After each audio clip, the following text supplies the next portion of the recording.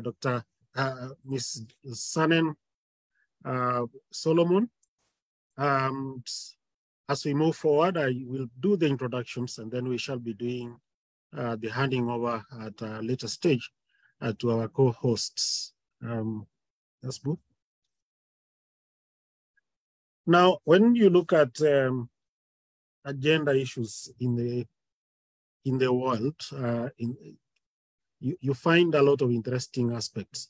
And in particular, when we look at uh, one of the studies done by the World Bank in 2018, uh, it shows that women play a very big uh, role in terms of African trade moving across the borders.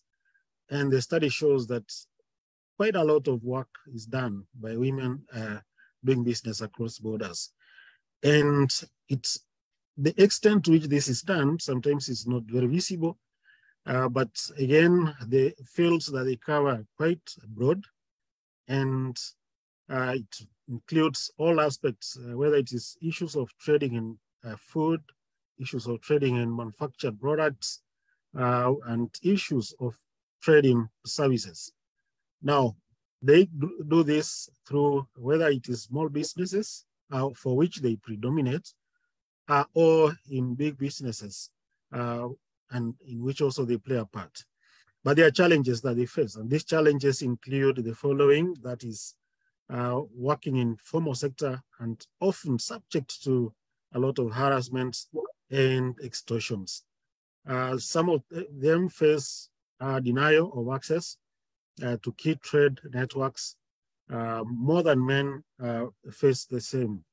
Uh, it is time consuming uh, for trade uh, filling in trade procedures and documentary requirements, which heavily are geared towards denying women such access and then work, women working to produce exportable products and services are typically less able than men to get the inputs and materials that raise the, their productivity. The other point that face, they face is difficulties in getting access to and being in the process of developing trade market and products uh, regulatory requirements, hence inability to comply with a lot of things. Um, so in this process then, uh, we realize that it is important to bring out uh, this webinar uh, so that some of these issues can be discussed to see how um, they are addressed. And let's move. Next. Uh, you move too fast. Eh? So then, um, just slowly. So when we look at um, uh, the, the interventions that have been thought to, to be included, uh, you realize quite a lot of institutions have put in mechanisms to address these issues. So through the agenda and, uh, and trade practices and policies in Africa, the World Bank, the United Nations Economic Commission for uh, Africa, the African Union, the FCFT, and the standardization community, uh, that is the UNEC, the United Nations Economic Commission for Europe, ISO and also are seeking to improve the understanding of the barriers that women face uh, in uh, trade, uh, with key recommendations to help policymakers uh, facilitate the participation of women in trade. In particular, these the following recognize the role of women in trade and ensure that officials of, at all levels understand their importance in, in, trade ensure that rules and regulations, standards, technical regulations, conformity assessment governing trade are clear, predictable, and widely available at the border, uh, which is clear. A critical for women traders are working with very limited margins in that in, in the formal sector. So some of these are the key issues that they face, and sometimes the way they are done is such that getting the information is hard. So can we make it easier for them to get this information? uh, prioritize the simplification of trade documents and regulatory requirements uh, to and enhance their participation in uh, the same. So if you look at uh, uh, regional economic communities like East African Community and COMESA, they have what they call the simplified trade regimes, uh, which try to make things easier for small businesses to access trade across the borders. But I think this is not enough, and therefore it is important that improvements are done uh, to ensure that access is enhanced. Uh, the fourth is design interventions to help trade in ways that ensure that women benefit. Uh, for example, programs that support improved access to information uh, we, we will assist women entrepreneurs uh, to access the otherwise male-dominated uh, trade networks, help women address the risks that they face in their trade-related activities, given that they are typically more risk-averse uh, than men uh, and responsible to different in different ways. So a lot of these things uh, need to be looked into within the context of enhancing that trade access, the trade access mechanisms. And such, of course, should include aspects of uh, what kind of risks are involved, particularly what kind of risks uh, do women face when it comes to accessing uh, trade um, across the borders. So various trade policies and instruments in the African continental free trade, area highlight the agreement issues which are expected to create new uh, trading and entrepreneurial opportunities for women in the in formal and informal uh, sectors, including agriculture, manufacturing, and sector and services sectors. Such include Article 3E uh, on the general, general objectives uh, that aims to promote and attain sustainable and inclusive socioeconomic development, gender equality, and structural transformation. Uh, 27 2D uh, of the Protocol on Trading Services, making it explicit uh, with references uh, to improving the export capacity of formal and informal service suppliers with a particular attention to micro, small, and medium uh, sized operation operators and women and youth suppliers. So quite a lot of um, research has been done and uh, when it when you look at the emphasis has been how do we make it easier? How do we make it profitable? How do we make it worthwhile uh, for women and youth enterprises uh, to actually trade across the borders particularly in services which are considered uh, minor services but which nevertheless form uh, good livelihoods uh, for the, the women and youth and these are the challenges that you, we face. And I think quite a number of uh, um, uh, webinars and uh, seminars, workshops have indicated that these are areas that need to be addressed. So women, women's lack of knowledge about their rights under the trade treaties and protocols make these problems even worse. Uh, let's move. Next.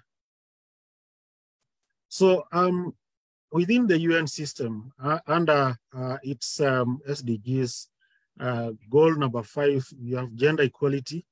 And what it emphasizes is that we should end all forms of discrimination against women and girls everywhere and ensure women's full and effective participation and equal opportunities for leadership, whether it is in business uh, or in any other uh, sphere. Facilitate the adoption and strengthening of sound policies and enforceable legislation for the promotion of gender equality and empowerment of all women and girls at all levels. So this also is a strengthened by what we have as Agenda 2063, particularly aspiration number three, uh, which says that an Africa of good governance, democracy, respect for human rights, justice and rule of law, and a continent where democratic values, culture, practices, universal principles of human rights, gender equality and justice, and the rule of law are entrenched. Aspiration number six of Agenda 2063 also emphasizes that it should be an Africa where development is people-driven, unleashing the potential of women and youth, and has full agenda equality in all spheres of life. So those emphasis that, yes, we are in a continental as well as a global arena, and we recognize the role of enhancing agenda uh, participation in all spheres of life uh, to ensure that we do not leave any section of the, uh, the, the, population behind. Next. Uh, next.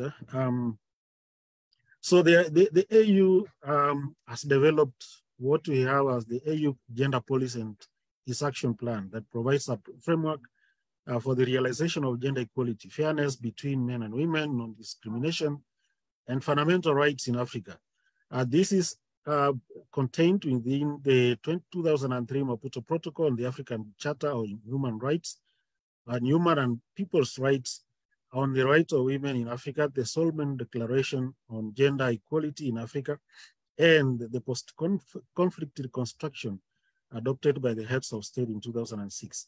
For this, the African leadership reaffirms a commitment to the principle of gender equality as enshrined in Article 4 of the constitutive acts of the African Union, as well as other existing commitments, principles, goals, and actions set out in various regional, continental, and international instruments on human right, human and women's rights. Next. So we have emphasized that uh, we have that sound uh, policy uh, framework within the continent that should ensure that women, uh, youth, and men have no discrimination uh, in participating in the continent's uh, development and prosperity agenda. So gender in, when you have the gender and agenda in standardization, and in this we have that given that standards play a role in all spheres of life, including socioeconomic and um, economic uh, and governance and policy measures, manufacturing, trade, and entirety, uh, the entirety of life, there is increased call uh, by the UN and UNEC and ISO to ensure that gender, the gender agenda uh, is considered in standardization with respect to governance and leadership and in all activities that uh, are related therein. So we do have uh, within the UNEC Working Party 6 uh, on regulatory cooperation and standardization, the initiation of the Global Declaration for Gender Responsive Standards and Standards Development. And that is one of the things that we have tried at also to ensure that it's taken on board. And the way it, it is looked at is that as far as, as a way of furthering equal participation by both genders in economic decision making as instruments for women's health, safety, and well-being as tools for sustaining uh, sustainability reporting. So the declaration recognizes that the content of standards and engaging in the standards development process are opportunities for women's empowerment. Uh, similarly, in ISO, you have Gender Action Plan 2019, the purpose being deepen the understanding of gender represented, representation in ISO work, assess the gender implications of standards, ensure that ISO work and activities include a gender perspective. So if we look at this, and I think it's an emphasis we've been uh, trying to put across in most of our committee work, that when you're looking at a standard that is to be implemented, ensure that it is gender sensitive in a way that it, it, it takes into account uh, gender perspectives that might hinder its implementation in a way that benefits everyone. Uh, next, please. Next.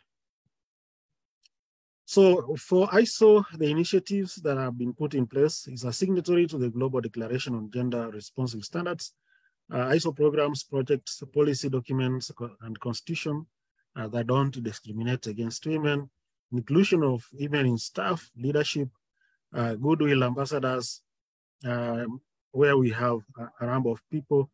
And then we have promotion of gender balance in technical committees. Uh, this is not an obligation uh, we have to report uh, at the council level, uh, the inclusivity of the technical committees. And whenever we are making calls for experts to be nominated, this is one of the aspects we actually do call upon our member states to consider. Uh, we, we have open participation of both male and female students in the essay competition, uh, promotion of African SMEs and made in Africa products uh, of all genders. Uh, under this, uh, I may wish to point out that uh, in some of the projects we're implementing, we have a mandatory requirement of either 30 or 40%, and this is signed up so that anytime we are doing certification training, or recruitment of uh, SMEs in, in terms of competition, we have a good representation of both genders. The standards and deliverables are gender responsive and gender policy documents being considered. This is under consideration. Also, member states like South Africa through SABS is currently a signatory to the Global Declaration, and the focus is on participation of more women in standardization activities, engagement with the government and policymakers to ensure the development of gender-sensitive trade policies and development of standards in sectors that impact economic uh, women's economic empowerment. Uh, Rwanda Bureau of Standards through standard, uh, the RSB uh, is also a signatory to this uh, international declaration. And one of the standards launched in 20, 20, March 2023 is one of the best standards that the best practices standard that has been released within the continent that addresses issues of gender sensitive policies and practices in their workplaces. Uh, next. So, um, although SABS will talk about this um, uh, later on, uh, we wish to point out that uh, this is one of the earliest uh, founded organizations, which has been in existence from 1945. Uh, At the time, the massive post-war rebuilding effort by the major powers was undertaken with growing recognition of the need to manufacture goods, uh, product, goods and products uh, to a common and agreed set of standards. So if you look at that, that's when you also find that ISO was being founded at the same time. And standardization facilitated and enhanced international trade, offering objective benchmarks to ensure minimum safety and performance integrity of products and improving applicability across a range of national markets. So SABS is a, a statutory body that was established in terms of the Standards Act 1945 and continues to operate in terms of the latest edition of the Standards Act of 2008 as the National Standardization Institute uh, in South Africa mandated to develop, promote, and maintain South African national standards, promote quality in connection with commodities, products, and services, uh, render conformity assessment services and assist in matters connected therewith. It's also a founder member of the International Organization for Standardization and has built a reputation globally as a long-standing and widely respected role player in international standardization and the leading standardization body in Africa. Internationally, SABS has been a pioneer working with the British, uh, British Standards Institute to develop the forerunner to the current ISO 9000, a series of standards uh, in quality management. The South African Bureau of Standards is associated with various regional and international uh, standards bodies. Currently, as an ARSO member, SABS is also a council member and champion, champion member of the of ARSO, facilitating strategic standardization policies, including strategies and policies for gender mainstreaming in standardization. Uh, next. Um, so the objectives of the webinar, I will not read through all of them, uh, is of course, uh, having that facilitate, better understanding of gender equality in gap, inequality gaps in standardization, to create awareness of the need uh, for gender responsive standards and to create awareness in the strategic importance of standards as tools for ensuring gender equality and increased competitiveness of women enterprises. So among all the other, we have nine objectives in this. Uh, I will not go through all of them uh, for purposes of saving time, but is, is to highlight that aspect of ensuring that we recognize the role of standards uh, in this. Um, uh, for today's host, uh, I'm standing in, uh, but uh, we have to recognize uh, the host and the, the, the co-host. the host is the Secretary General. I'm standing in for him. Dr. Nsengimana holds a PhD in analytical and environmental chemistry from let me remove this uh, from the School of Chemistry, University of Wits, uh, Wits uh, South Africa, and postdoctoral studies from the Wits um, University and University of Botswana. Um, he has been in this uh, the standardization career for a Secretary General from 2012 and has, of course, been steering the organization uh, to fulfill its mandate since then. Uh, the host, uh, the co-host, uh, Dr. Sadhvir, let's move. Next. Uh, the co-host, uh, our co-host today is Dr. Sadhvir Bissoon, currently serving as the acting chief executive officer at the South African Bureau of Standards. With almost 20 years experience in standardization, he has taken on standardization roles um, and responsibilities at the international level that includes membership of ISO Council, a council board member of the International Electrotechnical Commission, IEC, a, mem a council member of the African Organization for Standardization, and council body member of the African Electrotechnical Commission. So over the, the years, his expertise has been instrumental in advancing the development agenda of national standards bodies with a career focus on the African con continent in support of the African Continental Free Trade Area at the AfCFTA. And Sadhvir currently serves as an ISO Council member for the 2021-2023 term. He holds a bachelor's and master's degree on sciences from the University of KwaZulu-Natal and a doctorate uh, in technology from the Durban University of Technology. Uh, at this point in time, uh, allow me, Dr. Sadhvir, to, uh, to invite you to address and give your opening remarks uh, to the webinar uh, before I also invite the moderator at a later stage to proceed with the webinar. Uh, kindly welcome. Thank you, uh, Ruben, and um, thank you, colleagues. Um, thank you to, to ARSO for um, hosting this very important uh, webinar and, uh, and SABS colleagues who have uh, been instrumental in making sure that uh, we provide guidance on, on this very important topic and to be co-hosting this event as well. It's certainly a great pleasure for me to be associated with this very important discussion point around uh, uh, women in standardization and, um, and trade uh, on this 35th or ARSO webinar. So uh, as part of my opening remarks, just going to give you a few, uh, something in context around South Africa and particularly the SABS on, on gender equality. Colleagues may um, uh, recall that in 2019, when we hosted the ISO General Assembly uh, in Cape Town, um, we had signed the Declaration on Gender Responsive Standards and Standards Development, which is an initiative of the United Nations Economic Commission for Europe, UNECE, um, aligned to um, the United Nations and the UNSDG 5, which is gender equality. So this uh, document that we signed has a declaration, has a number of commitments uh, as signatories. And basically what we need to do is create and implement gender action plans.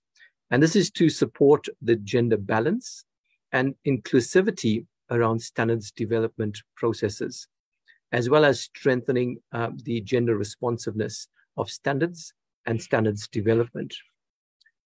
SABS is a public entity, and certainly we've taken the initiative to pledge and embrace gender responsiveness throughout our business, not just the division that develops South African national standards, but throughout the business. And I'll highlight one or two initiatives uh, in um, the comments to follow. So as a signatory to the Declaration on uh, Gender Responsive Standards and Standards uh, Development, it demonstrates the Bureau's seriousness about contributing towards the well-being of uh, South Africans and participation of all citizens of the country in the economic growth activities. Colleagues, um, standardization, and you all know uh, this, uh, this, this, this theme, is that it is a very important facilitator of trade and promoting women participation in the development of standards that facilitates trade is a strategic way of involving women in trade. It goes without saying that involvement of all genders, and particularly women, paves a way for their active and informed participation in industrialization as well as economic development. For society to be uh, very active and, and proactive, we need to make sure that there's active participation um, of women um, in standardization activities, including the development part of it as well. You also may appreciate that globally, and even in, in your own national standards bodies as well, there is inadequate participation and representation of women in standardization. SABS has taken on this challenge and it has committed as a signatory to the UNSDG um, GRSSD initiative, has crafted an action plan. And this action plan is aligned to the ISO action plan that has been developed in 2019. And our action plan is very specific around gender equality targets. Um, a few of the targets, just to, to mention, is that, well, the first thing that we need to do is to develop a baseline. What is the current gender representation or demographics in our technical committees, subcommittees, and working groups? Having understood that, and at the time when we did the survey, it was 21%, uh, pretty low in terms of participation. Then we start putting in targets in place. And the targets were how do we get women represent leadership positions, women in leadership positions in our technical committees and subcommittees? And we put a target of 30% uh, from the initiation point over a three year period. Secondly, how do we put a target in terms of general participation of women in our technical committees and subcommittees and our working groups?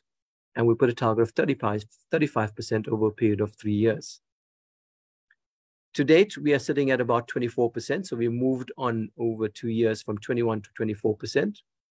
Not uh, the, the target and, and the movement that we would have liked.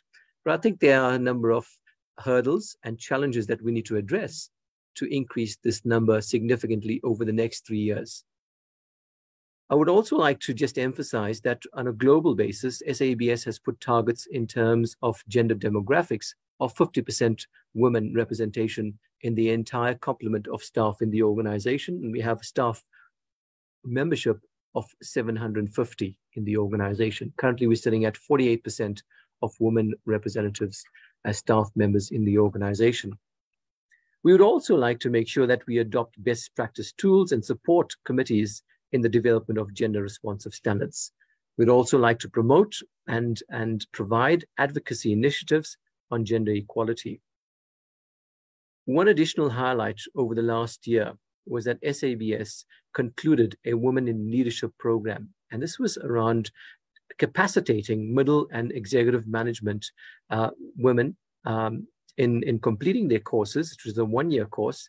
And I must say, 43 of the participants who have initially started off the program concluded it a year later and successfully graduated in March 2023. And this is one of the initiatives of ensuring that we have capacity, we develop the flexibility around initiatives for women to progress uh, in the organization. And last but not least, we joined the ISO men mentorship program to make sure that um, uh, we support ISO and national standards bodies in providing experiences, case studies to promote gender and gender responsible standards, um, not only a national perspective, but supporting also at a regional perspective ISO and IEC at the international perspective. So those with those opening remarks, I'm looking forward to the valuable discussions and presentations uh, and look forward to engaging further. Thank you, Ruben. Uh, thank you, Dr. Sadhvir. And uh, from uh, your remarks, I believe South Africa is well positioned in this uh, webinar to share with us your experiences as subs as well as getting more inputs from the rest of the continent. Uh, let me take this opportunity to welcome the moderator for this um, uh, webinar today. Uh, Sanet Solomon, uh, you're welcome.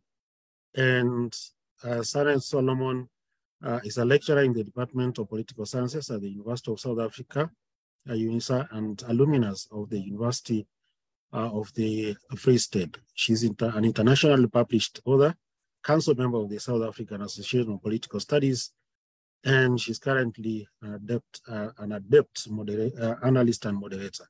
I believe we will benefit from your experience, and I welcome you to take the, the ship and steer it forward uh, in the these interesting discussions. Uh, kindly welcome and take over. Thank you. Thanks so much for having me. It is an absolute pleasure.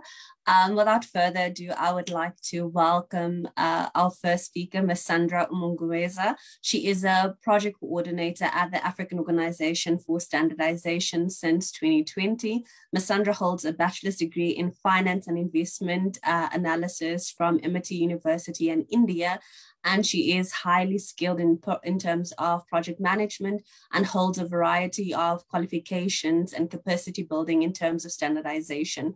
Ms. Sandra's presentation is titled Developing Gender Responsive Standards and Making the Standardization Process a Gender Agenda as a cornerstone for splurging inclusive sustainable development in terms of international and regional, uh, regional policy initiatives in the role of ARSO.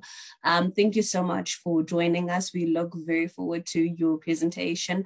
Um, and your presentation is uh, scheduled for just 10 minutes. So uh, without further ado, the floor is yours.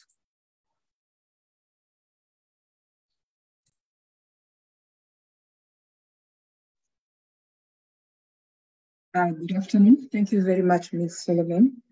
Um, I will start by um, projecting my presentation, if you allow me.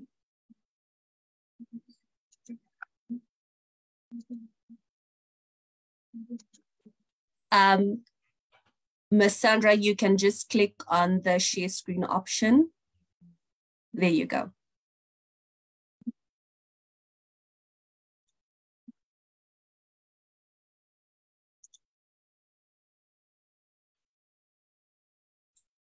Uh, you can just click on the share screen option. Again, we just saw your presentation. It's the green button just in the center of your screen.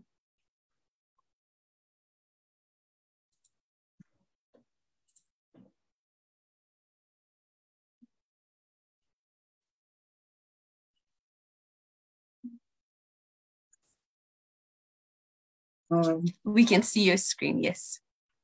Okay, thank you very much. Thank you. So uh, my presentation is going to be um,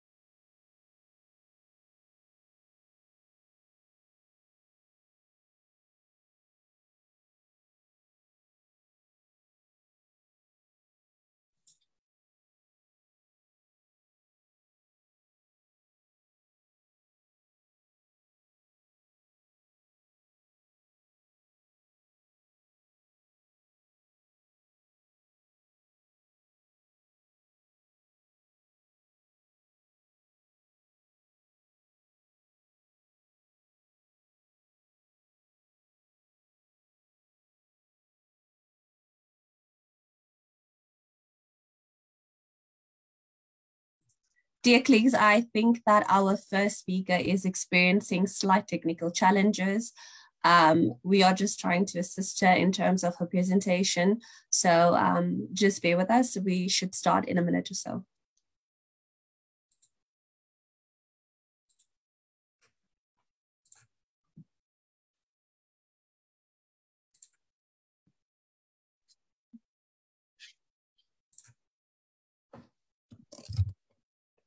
Um, Ms. Solomon, please confirm if my screen is visible. Uh, yes, we can see your screen. Oh, thank you very much. So um, thank you for this opportunity. Um, as presented earlier, I'm Sandra Umugwaneza, and uh, I work at the ARSO, uh, African Organization for Standardization. So for today's uh, 35th session on webinar, uh, it is jointly organized by ARSO and SABS. Um, the focus is on women in standardization trade and trade.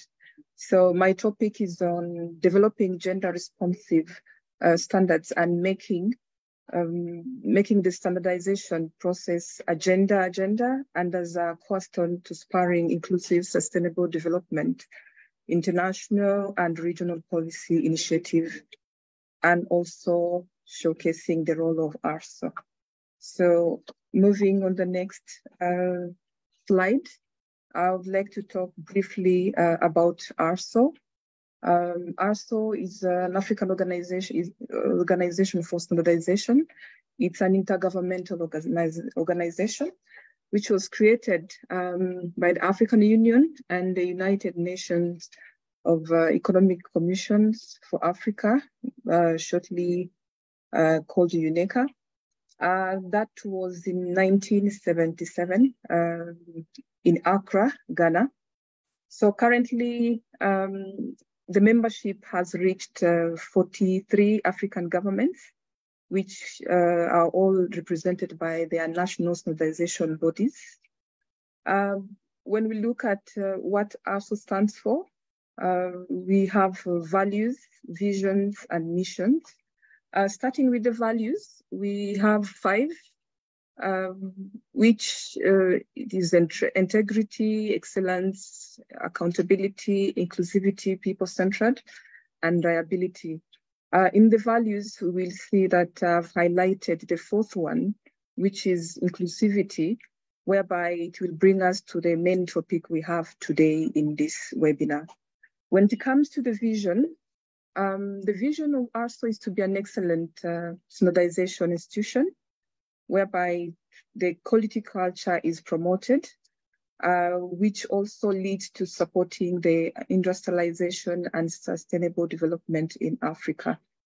Lastly, on the mission, uh, ARSO's mission is to facilitate uh, intra-African and global trade by providing harmonized African standards and conformity assessment procedures. All this, um, the work that is done under the under ARSO, part of what is happening right now is all included in the ARSO St Strategic Plan 2022 2020, 2027. Uh, moving to the next slide, uh, which is the main the main um, the main topic of today. It is uh, what is gender and what are the issues that are being uh, discussed uh, nowadays or uh, globally, be it globally, uh, continental, uh, I mean the African continent, or else or else at national level. We will start with gender. When we say gender, what do we understand?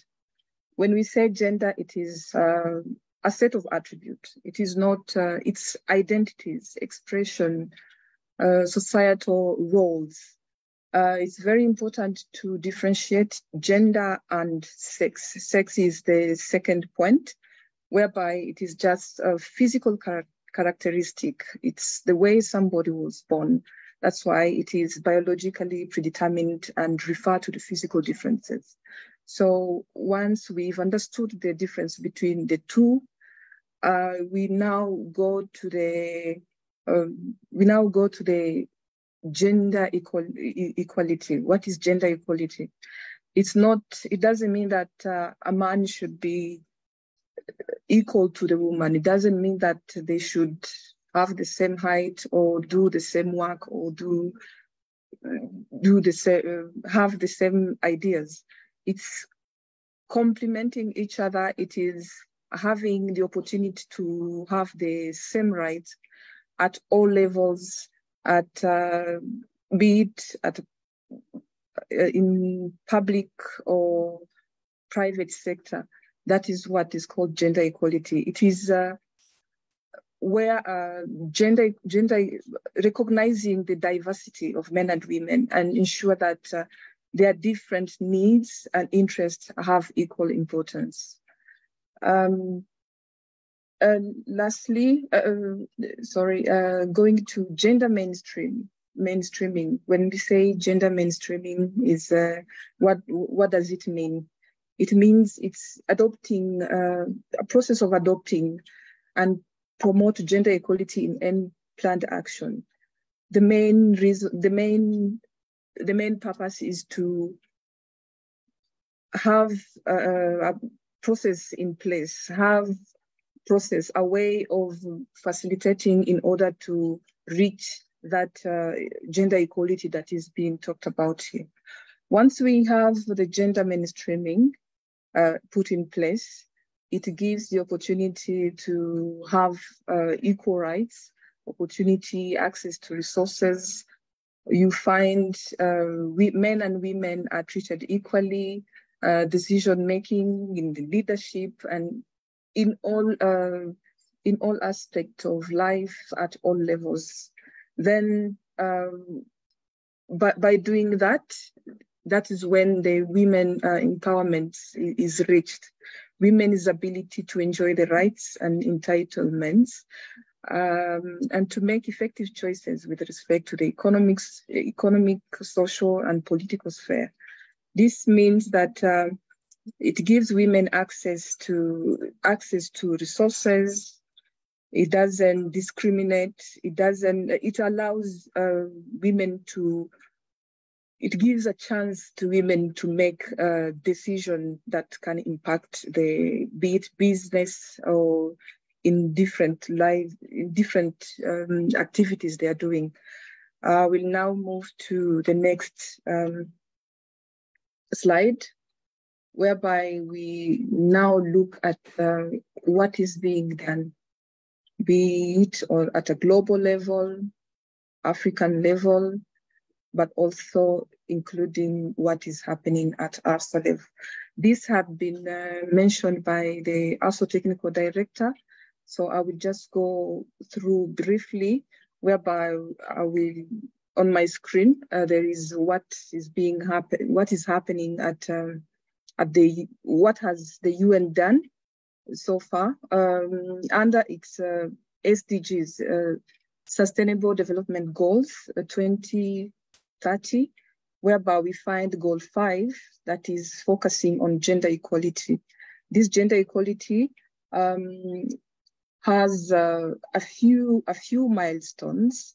These few milestones were achieved when the Universal Declaration Human of, on Human Rights took place in um, 1948 then this was followed, it did not stop there. It was followed by the milestone you might be able to see down, whereby we have the Mexico City First Women Conferences, Conference, uh, 1979, the adop adoption of CEDAW, um, 1980, Copen Copenhagen um, Second Women Conference, and also 1985, the Nairobi Third Women's Conference, and lastly, uh, the Beijing Fourth Women's Conference that took place in 1995.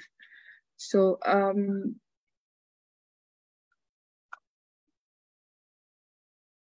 uh, at the at, at, at the AU level, at the African Union level, we also do have the Agenda 2063, this also was mentioned by the technical director.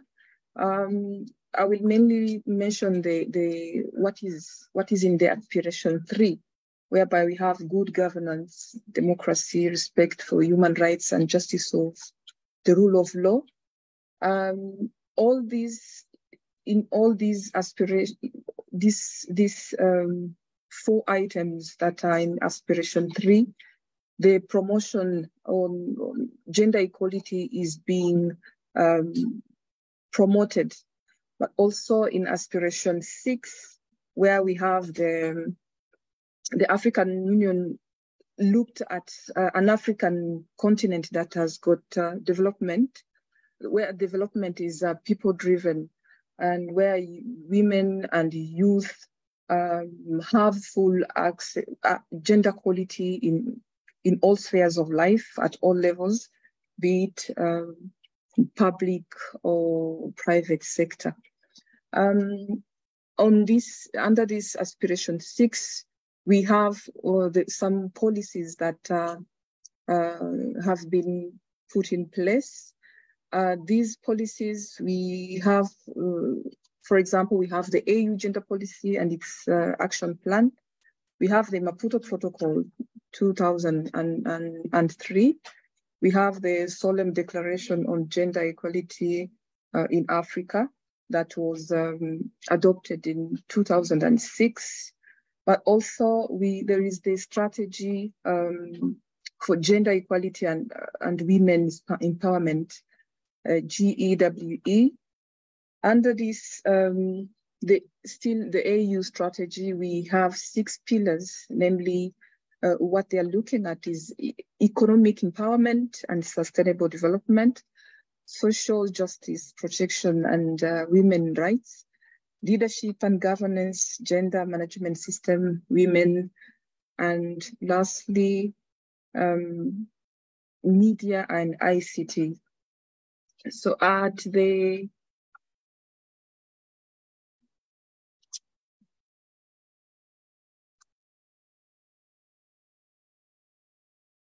um, another another policy that uh, has been put in place at the UNEC is the assessment on gender equality and empowerment of women and girls. Also, uh, lastly, on the on when we are looking at what is happening globally and uh, on the on the African continent, we lastly have what is happening um, at the AFCFTA. This uh, African Continental Free Trade uh, Agreement has um, an annex whereby um, whereby there is also the agreement on including the gender equality. Under Article 3, we will have uh, where the gender equality is, uh, is being emphasized on, but also Article 27.2d, uh, where there is supporting uh, supports improving export and capacity of uh, SMEs. So what are the opportunities that uh, these, these uh, gender equality uh, agreement, this gender equality, gender equality will bring to, to the table for, for the African continent? Since we know that uh, women are in different sectors, they need to have uh, export capacity. With uh, at a, at a personal level, uh, I might say that if we take an example to example of agriculture, you mostly find uh, women at a low level uh, produ production, but when it comes to it reaches the export capacity, it starts uh, showing that uh, men are dominating the, the that level. So all this, when when gender equality is emphasized, there will be increase of export of female-dominated sectors in manufacturing, uh, agriculture, even in value addition, we will find value. Uh, we will find women present. So um, this this provides the mechanism to address the non-tariff also, non-tariff barrier under the TBT Annex 6 and SPS. Um, also, the gender mainstreaming in the process remains the key building block to the realization of full benefit from the trade opportunities. So gender equality is very important because uh, for all these aspirations, for all these, uh, uh, for the Africa we want, for for the for for the economies to grow, women must be involved. That is why all these policies that uh, that uh, have been mentioned, be it at um, global level, continental level, um, has have to be adopted. Moving to the next slide, uh, we'll now bring in the, I will now bring in what is, uh, what is being done at UNECE, whereby there is a working party on regulatory uh, cooperation and standardization. This has got uh, a few initiatives that are focusing on the role of standards which is a way of furthering equal participation by both genders.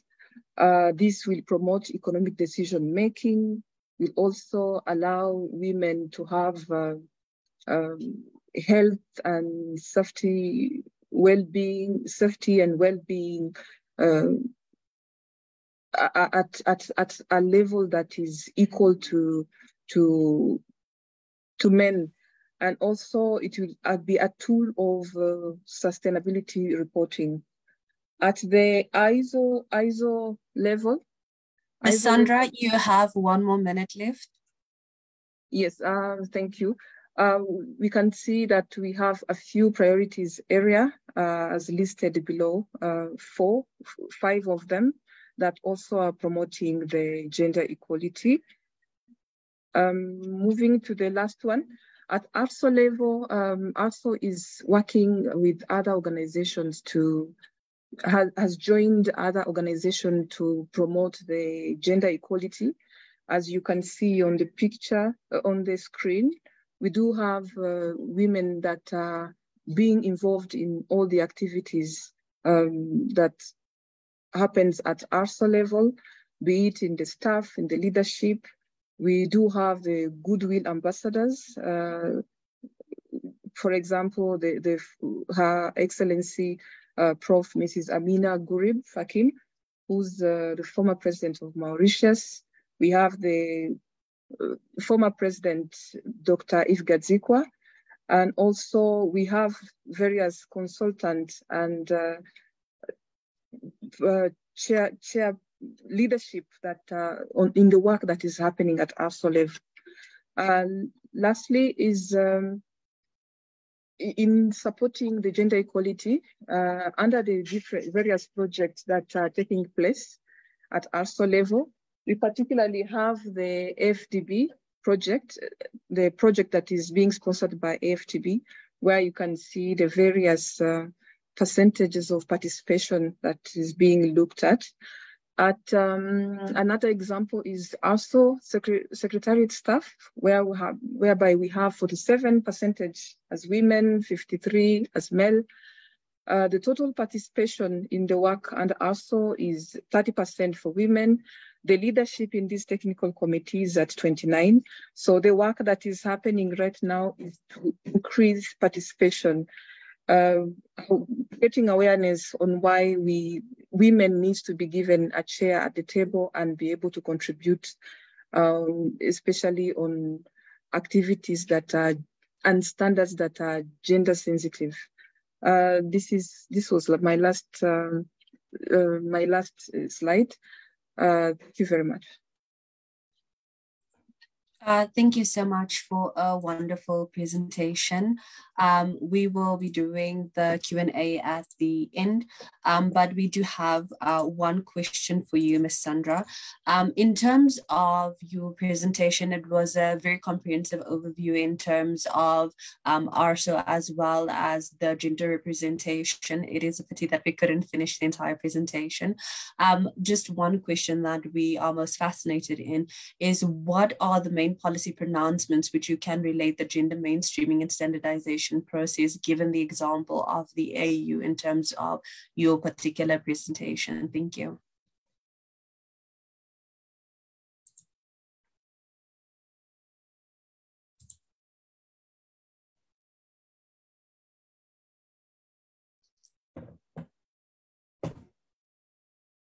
Uh, Ms. Sandra. Thank you very much uh, for, for the question. Uh, I will just say that um, as, as mentioned in the presentation, you might have seen that uh, following, uh, it was mentioned even uh, at, a, at global at the global level, we saw that uh, following the milestones that have been uh, achieved by the UN, but also at the continental level by the, the three, the aspiration three, the aspiration six, whereby women are being are being um, the, the goal is to is to make sure that the gender equality is being looked at and being um, promoted. And also as you i will give an example of the the mexico city first women conference but also the beijing uh, conference the beijing that took place in in, in the conference that took place in Beijing 1995. Um, then there's also this um, what happened, what is happening at the African level, whereby we have the the Maputo Protocol, all these these are being being they're, they're showing that uh, we can relate, we can. it's it's helping in mainstreaming the standardization process. Um, I submit. Thank you. Thanks so much.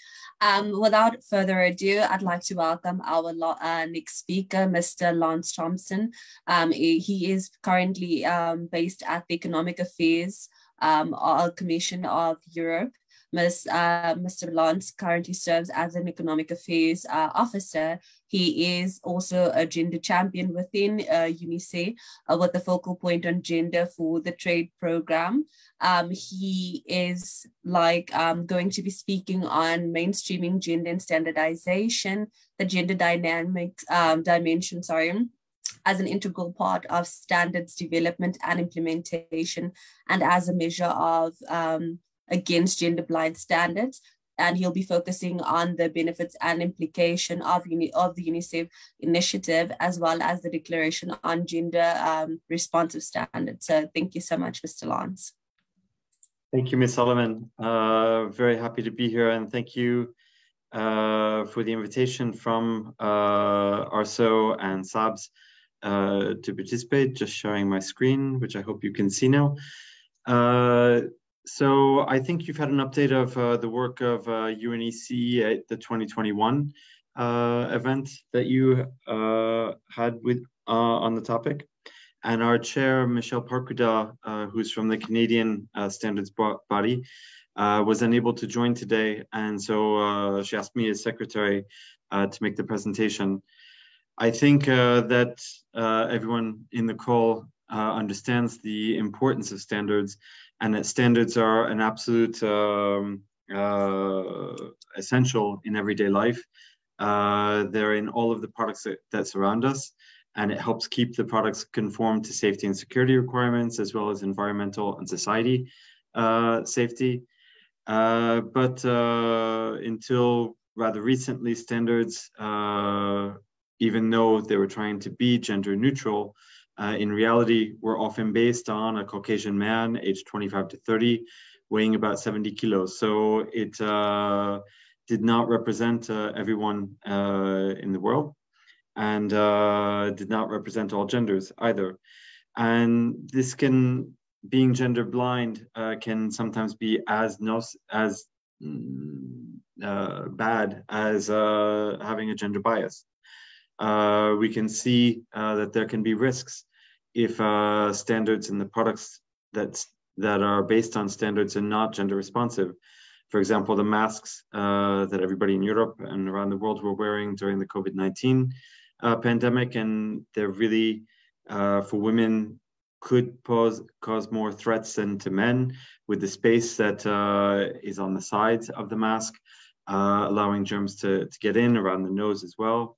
Uh, on uh, clothing for professional use. Uh, the woman firefighter in the photo here will have a more difficult time than her male colleagues doing her job, given that the clothing is really oversized on her. Same for equipment uh, for construction. Uh, it was until recently very centered on a male uh, morphology. And so women wanting to operate these types of machines had a more difficult time. This has been resolved, obviously, now. Uh, the seatbelt and security measures and uh, passive restraints in, in cars uh, can also cause different uh, health threats uh, to women and pregnant women.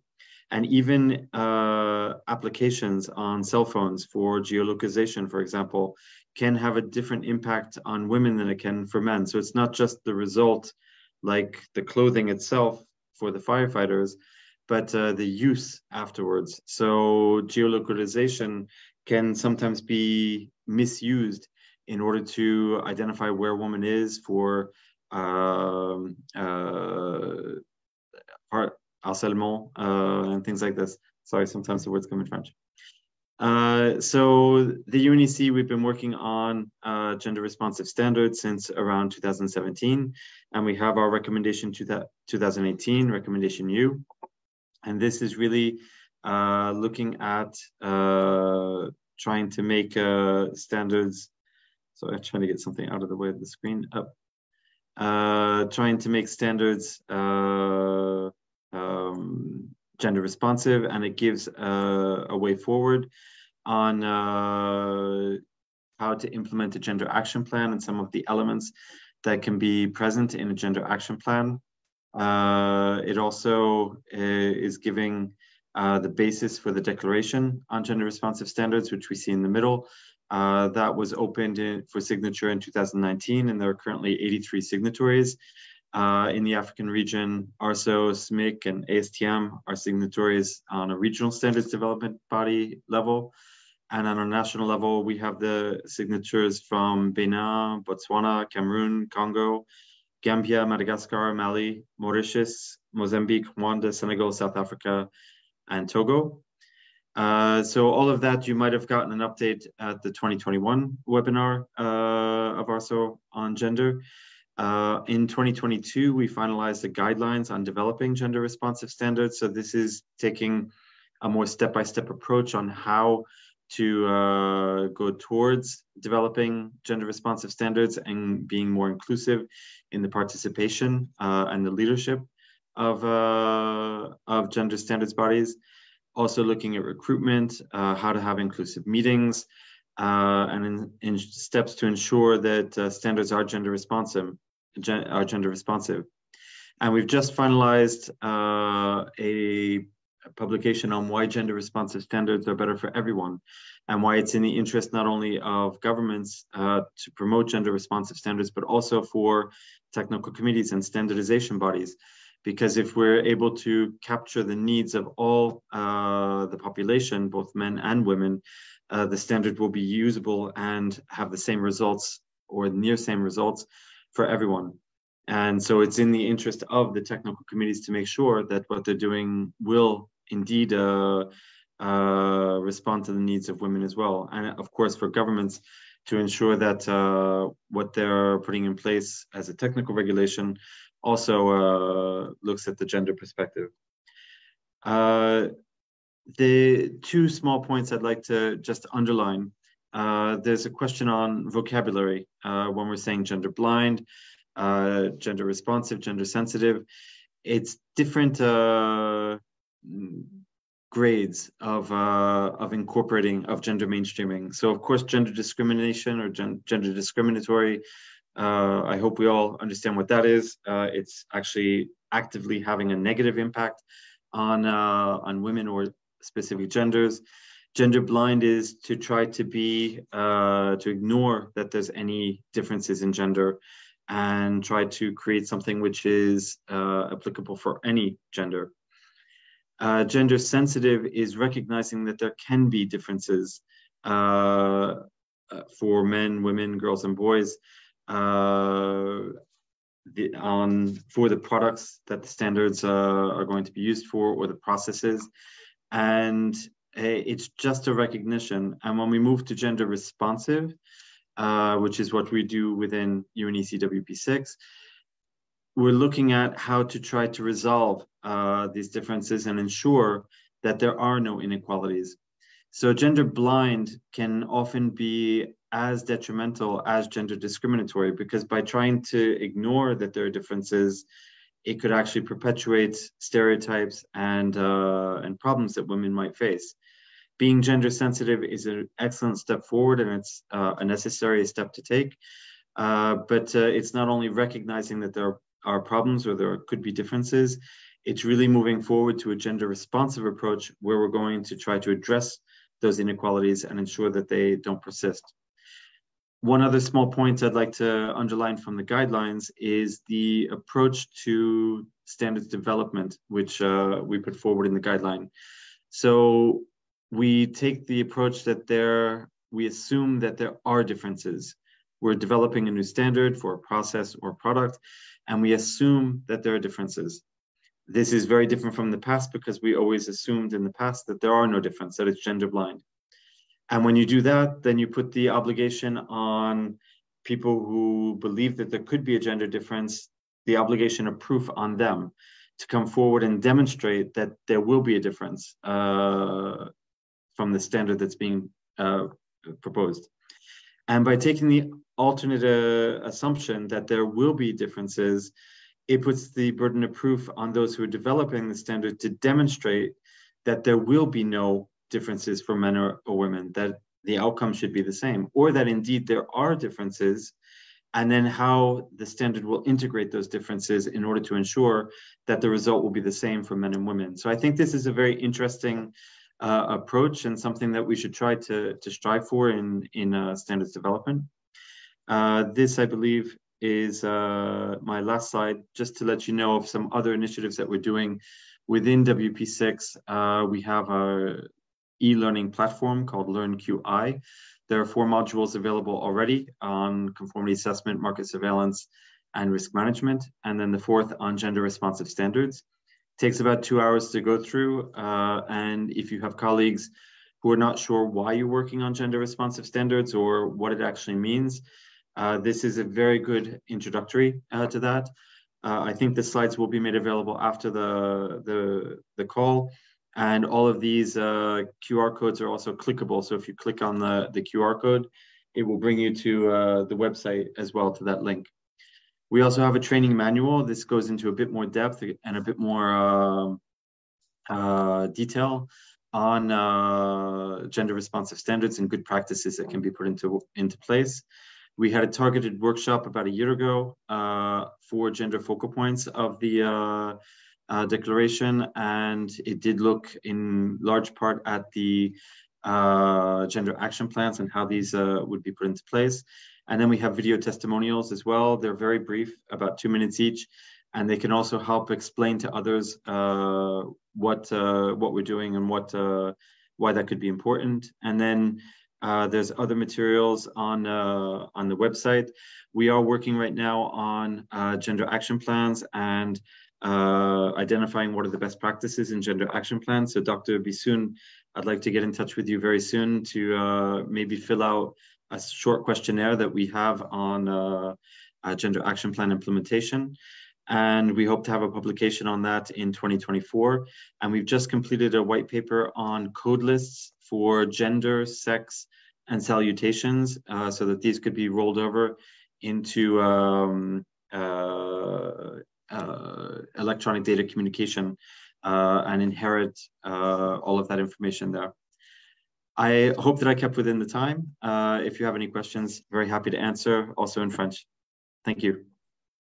Thank you so much for a very insightful presentation. It's very great to see how uh, and how many changes have taken place over the years and also the developments that are taking place. What I found particularly interesting uh, interesting about your presentation was the proactive response in terms of being more gem, uh, gender responsive as opposed to taking a more reactive approach, which obviously then puts the onus on the people to prove that those materials don't work for them and that they're not suitable. You also mentioned that you um, UNECE also developed a guide in terms of how to become more gender responsive in terms of sharing it also with different government departments and different governments around the world.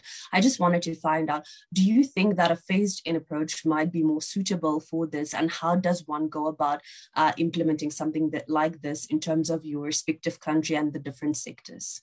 Thank you. Thank you. Very, thank you very much. And of course, uh, every country is going to have different cultural backgrounds and societal backgrounds. So implementing gender responsive standards in France, where I'm living, it might be very different from implementing uh, gender responsive standards in uh, Iran uh, for example. So we have to take the, those considerations into account and um, to uh, even small steps are steps forward. So even if we're not able to go directly to a, a gender responsive approach, already taking a gender sensitive approach to realize that there could be differences is already a, a very big step ahead in many places around the world. So as you say, a phased approach could be uh, quite interesting for that in the uh, repository of gender action plans that we're working on within WP6, uh, we're looking at the implementation and how countries have worked about this. And Rwanda, who I think we'll hear from later on, uh, has filled this out uh, in our uh, repository. And we're hoping to have other examples from various different types of economies, different regions of the world in order to, to compare what's comparable and not just say there's one size that fits all, but to see like what has been done in Rwanda or in South Africa that might be able to repli- be replicated in Mali or in uh, Kenya, uh, and then also in, Canada. Uh, so yes, I completely agree. Uh, phased approach and taking into consideration differences. Thank you. Thanks so much. I'm a firm believer in context matters, and I love that that is an approach that one can pursue in terms of this. Thank you again for your insights. Um, our next speaker is Mr. Emmanuel Gatara. He is currently the National Standards Division Manager in Rwanda, or for the Rwandan Standards Bureau or Board. Um, Mr. Gatara holds a master's degree in engineering of quality, safety, and environmental management from Cadi Ayyad University and a bachelor's degree in industrial chemistry from a university in Morocco. Mr. Gatara's presentation is focused on the gender agenda, sorry, the gender agenda in standardization strategies and programs, the gender indicators and criterion standards development for gender responsive standards and outcomes. And he will focus on the Rwandan experience and initiatives. Such a tongue twister and definitely a fascinating uh, presentation, I'm sure. Um, Mr. Gatara, the floor is yours.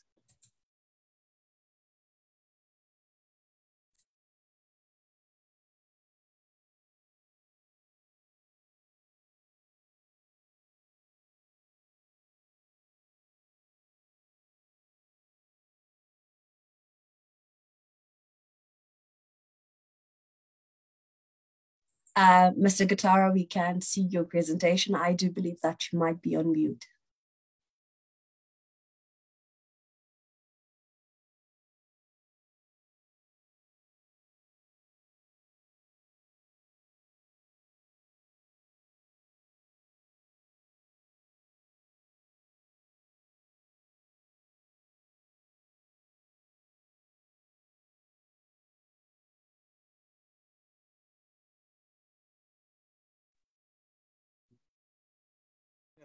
Thank you very much, Solomon. Uh, can you hear me? Um, yes, we can, Mr. Gatara. Yeah, uh, hope you are able to see the shared screen. Uh, yes, we can also see your screen and we can also see your visual. Thank you so much for sharing your camera with us. Okay, very much. I'll try to be brief. I don't know how much time am I allocated to use. Uh, but uh, the, the content of the presentation is all about uh, the RSB experience or the RSB agenda, equality agenda, uh, specifically focusing on the use of standards to achieve uh, SDG number five uh, goals. first of all, I want to let you know that this initiative, I mean, our gender equality starts with the declaration uh, which we have signed in 2020, uh, but uh, signing this declaration took a lot of time. Uh, I've been aware of the declaration in 2018, uh, but uh,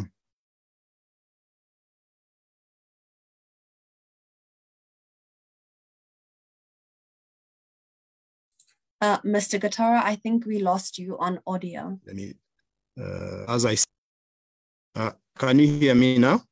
Yes, yes, we can hear you.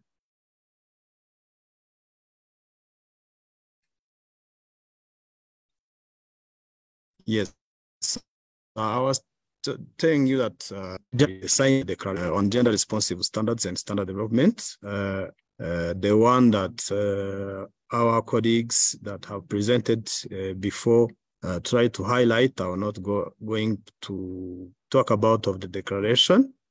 Uh, but uh, in this presentation, I'm going, I'm going to focus on the RSB uh, model and the indicators that we have selected to, uh, to focus on uh, while designing our model. Uh, especially talking about of the declaration, you all know that mainly the objective of the declaration focuses on standards and standard development, but also the internal transformation within any national standard bodies. But uh, from our side, uh, we try to go beyond as we are not only uh, providing uh, uh, standard development services, also we provide uh, certification services, uh, testing services, and other services that are uh, for although or the way the, the journey in which we have perceived it we, we, we, we try to make sure that uh, the standards that are being developed are addressing uh, the special requirement, uh, not only in product specification, but also in management system requirement.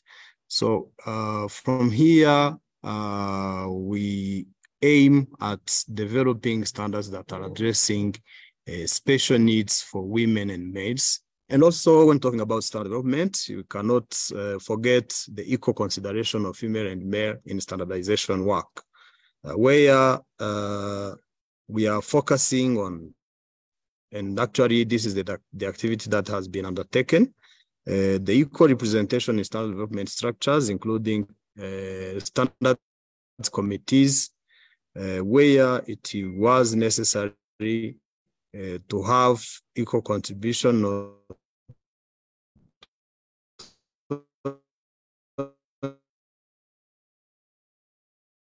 mandate, uh, it is all about the access. Of course, uh, we are not uh, a discriminatory institution. Everyone has the right to access our services. But uh, going forward, it is not enough.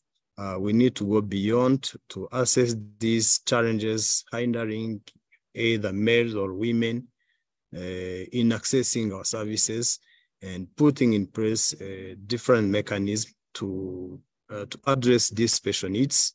And there are some various initiatives that are, uh, are in place to uh, go beyond addressing such kind of special uh, needs, uh, addressing the challenges or limitation to access our services. And as it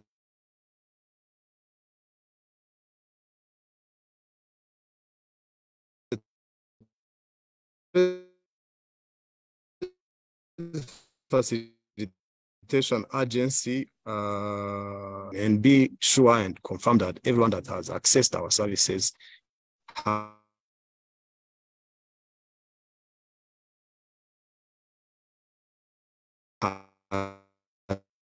has got or has accessed has pro, uh, pro, providing. So there is a mechanism here to go beyond and assess uh, how impactful uh, was our services to both women and male-owned uh, businesses. And where we are not able to overcome the challenges, we make an advocacy to bridge uh, that, to bridge these gender gaps. So uh, before uh, to, to ensure uh, alignment of our intervention with these uh, four indicators, uh, it was necessary to map internal and external stakeholders that are necessary uh, to align the RISB ambitions with the, the, the current, the current context. First of all, before signing the declaration, this is an experience that we have gone through and I think it can be inspire other national standard bodies because if there is no uh, internal engagement, uh, the initiatives will be very difficult to be to achieve to be achieved, and the target set will be not easy to be achieved. So uh, even before signing the declaration uh, at RISB level, we have conducted uh, internal consultations uh, at all levels of the, the organization, starting from the top management to the operational staffs. And um, having that concrete and agreed uh, uh, way forward, RISB has decided to sign the gender responsive uh, standards declaration. And also, uh, we the, the, the, consultation was not only limited to internal consultation, we decided also to to map external stakeholders in achieving the national priorities that we have decided to, to, to set as a national standard body. Uh, from that specific point, uh, we managed to have uh, the Gender Monitoring Office and the UNDP on board. Uh, currently, we are very proud to have that partnership. And uh, uh, under that partnership, we have managed to achieve various milestones, including conducting a gender assessment, uh, which has been informative in gender action plan preparation for the five years. And also under that program, under that partnership, we have managed to train and coach uh, RSB staff on gender equality.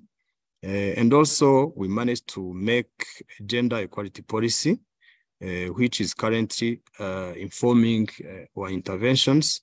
And also our tools, our operational documents are, are, have been modified to, to inform us on how we are impacting uh, we are in line with the set uh, plans, five years plans activities. So mainly our action plan was focusing on developing standards or participating in international and uh, regional projects uh, about uh, gender equality in standardization, especially uh, at national level. Uh, we have established a specific national uh, technical committee. This is RSB TC 58, uh, specifically uh, uh, has having uh, the, the, responsibility or the assignment to undertake all activities pertaining to gender-related standards, but also to serve as a national mirror committee to these regional and international standards, uh, where currently we are participating uh, in various projects uh, coordinated at ISO level in two project committees and one technical committee. And currently we have established a gender mainstreaming a gender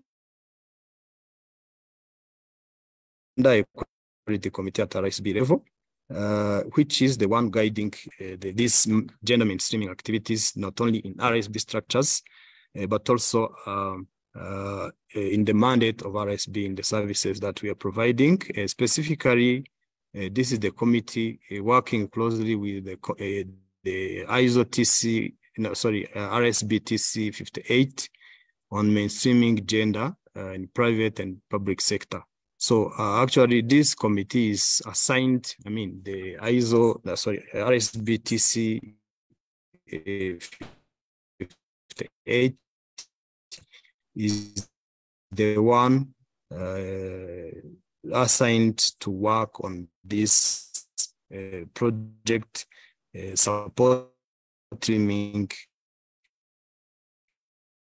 uh, then uh, point of contact to have RSB uh, uh, having RSB as a gender responsive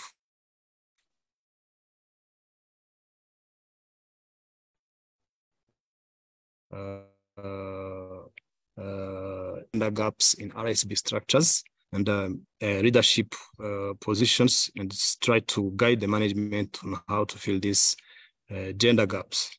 Uh, the other assignment, uh, as highlighted on the five years plan, was to accommodate. Yes. one Can you hear me? one more minute left, sir. Ah, okay, okay. So one assignment, uh, one other assignment was to make sure that under this uh, RSB TC 58 uh, was to make sure that uh, there is an alignment of the ongoing gender equality seal uh, to, to have it aligned with the international best practices, uh, guiding certification services. It is a certif and uh, operation at Gender Monitoring Office.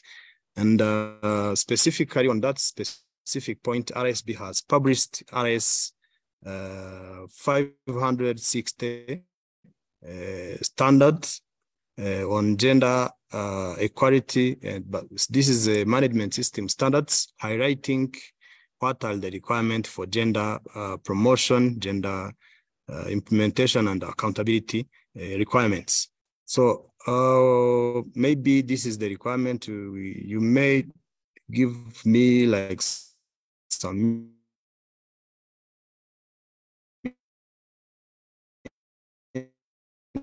us to give you the highlights from our RSB website. So this is the first milestone that this committee has managed to deliver uh, to, to, to, to deliver. And uh, there are other projects ongoing uh, to be considered in this fiscal year work plan. I think uh, without taking too much of your time, I want to hand over the floor to Solomon. Thank you very much.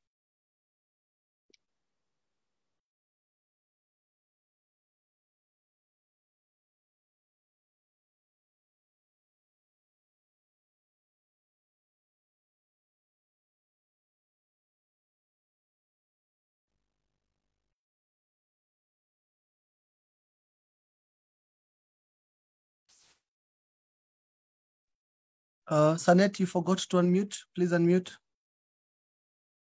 Oh, thanks so much. Um, oh, I just wanted to find out in terms of your particular country, what impact do you envision that these standards will have in terms of women in business, in terms of Rwanda, and how do you think this will impact on them in terms of trading in the country? Thank you.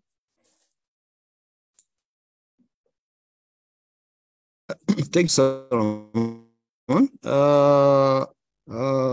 currently, uh, Rwanda Standards Board specifically is among uh, the trade facilitation agencies.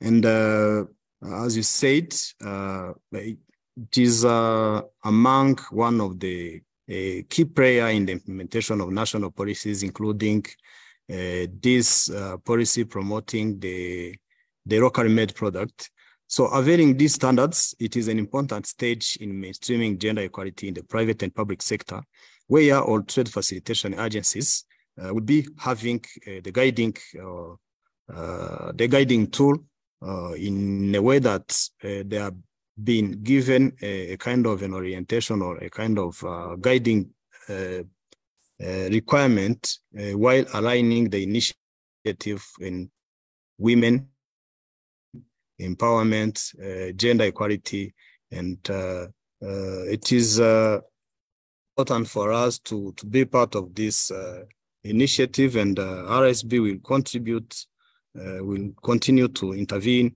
will contribute, will always provide support to make sure that all the support ecosystem are considering or are having uh, the key uh, guiding uh, tools such as standards in aligning the intervention uh, with the women empowerment and the economic transformation uh, journey in which we are all contributing as uh, members of that support ecosystem that are supporting uh, not only uh, businesses but also having this tra transformation journey or uh, bringing in this inclusivity, this equal opportunities that are availed to all uh, women and males businesses operators.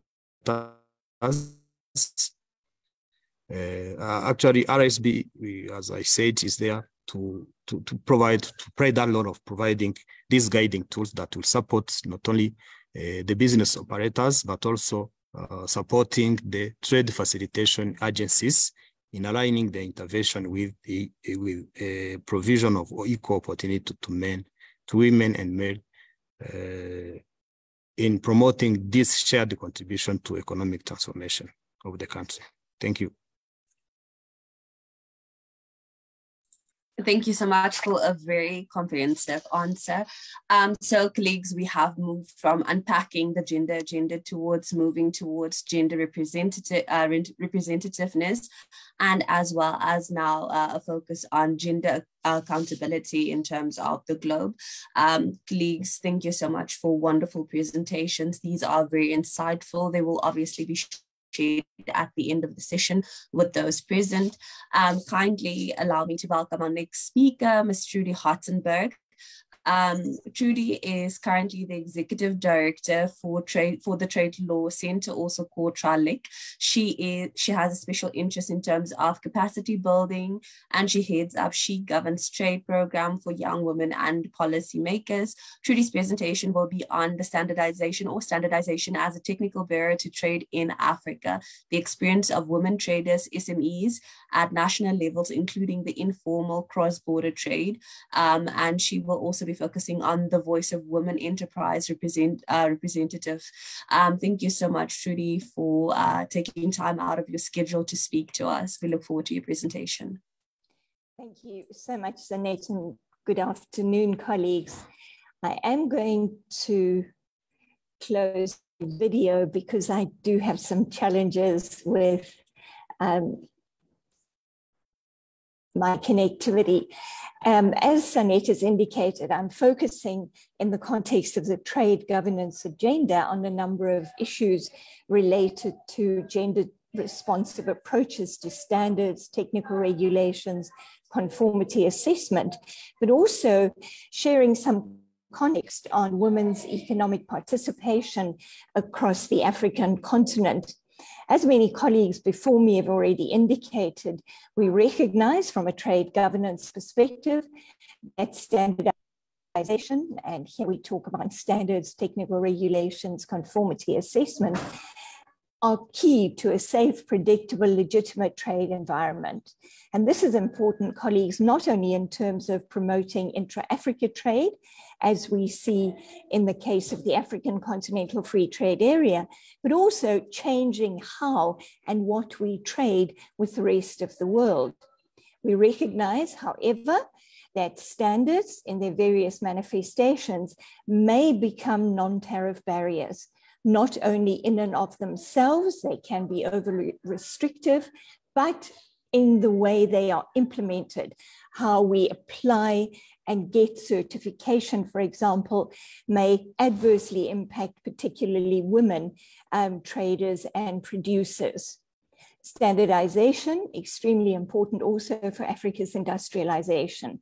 And we now know that the AFCFTA has been adopted as a framework for Africa's industrialization to support value addition and diversification of economic activity.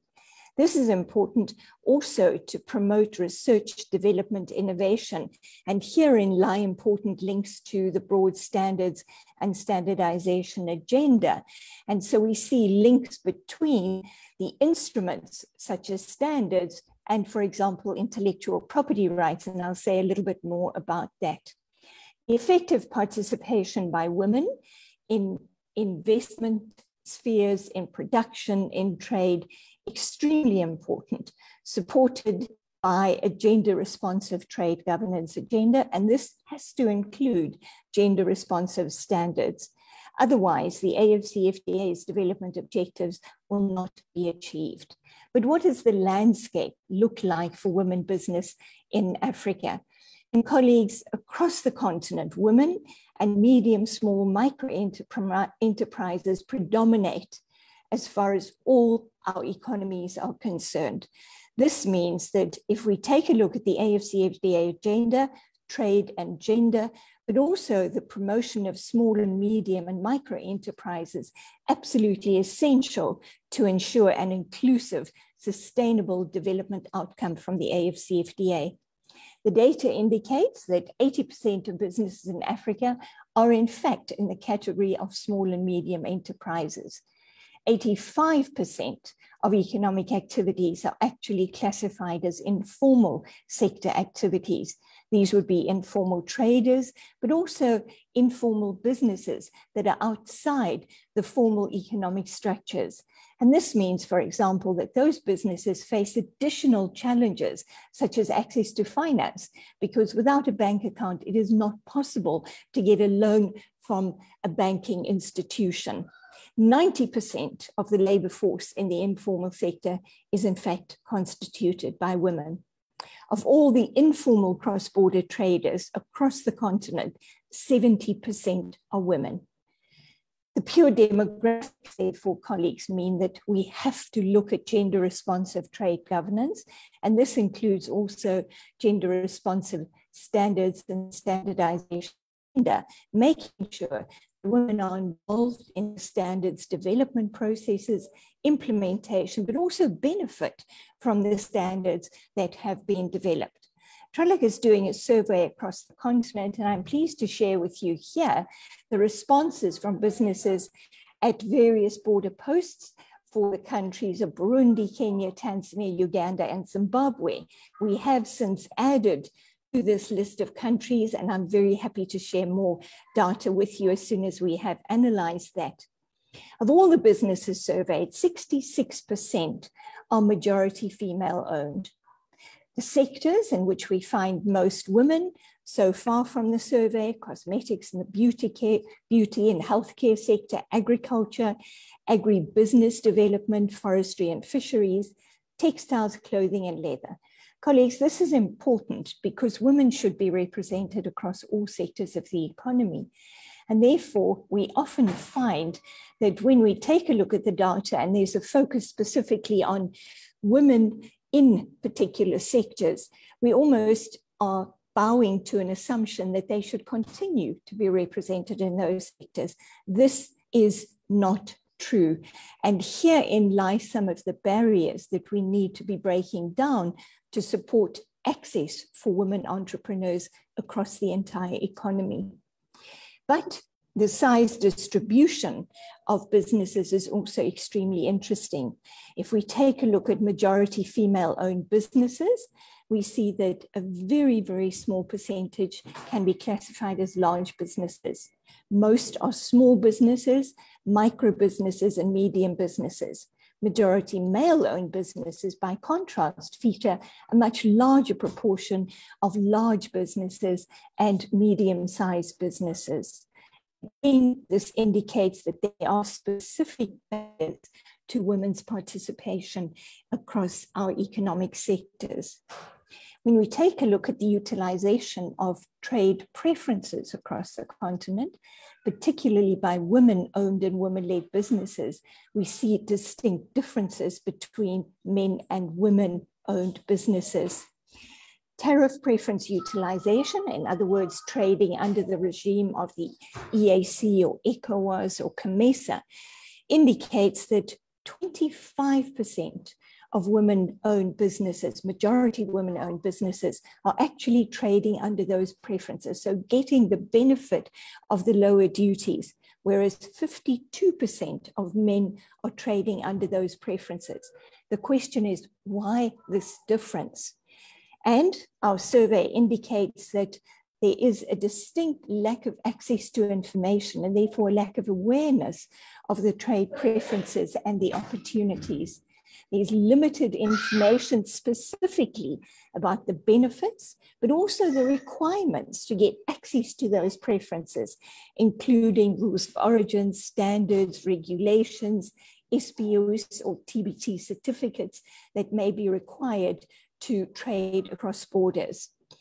We have also found from the survey that many small scale traders, and these are predominantly women, avoid border posts.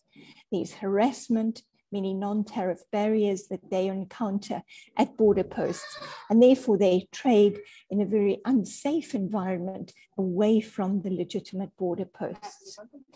This brings a number of implications for us as we look now to the phase of implementation of the African Continental Free Trade Area information specifically designed and targeted to women investors, producers, and traders is absolutely essential if we are going to make the AFCFTA deliver on our development outcome objectives.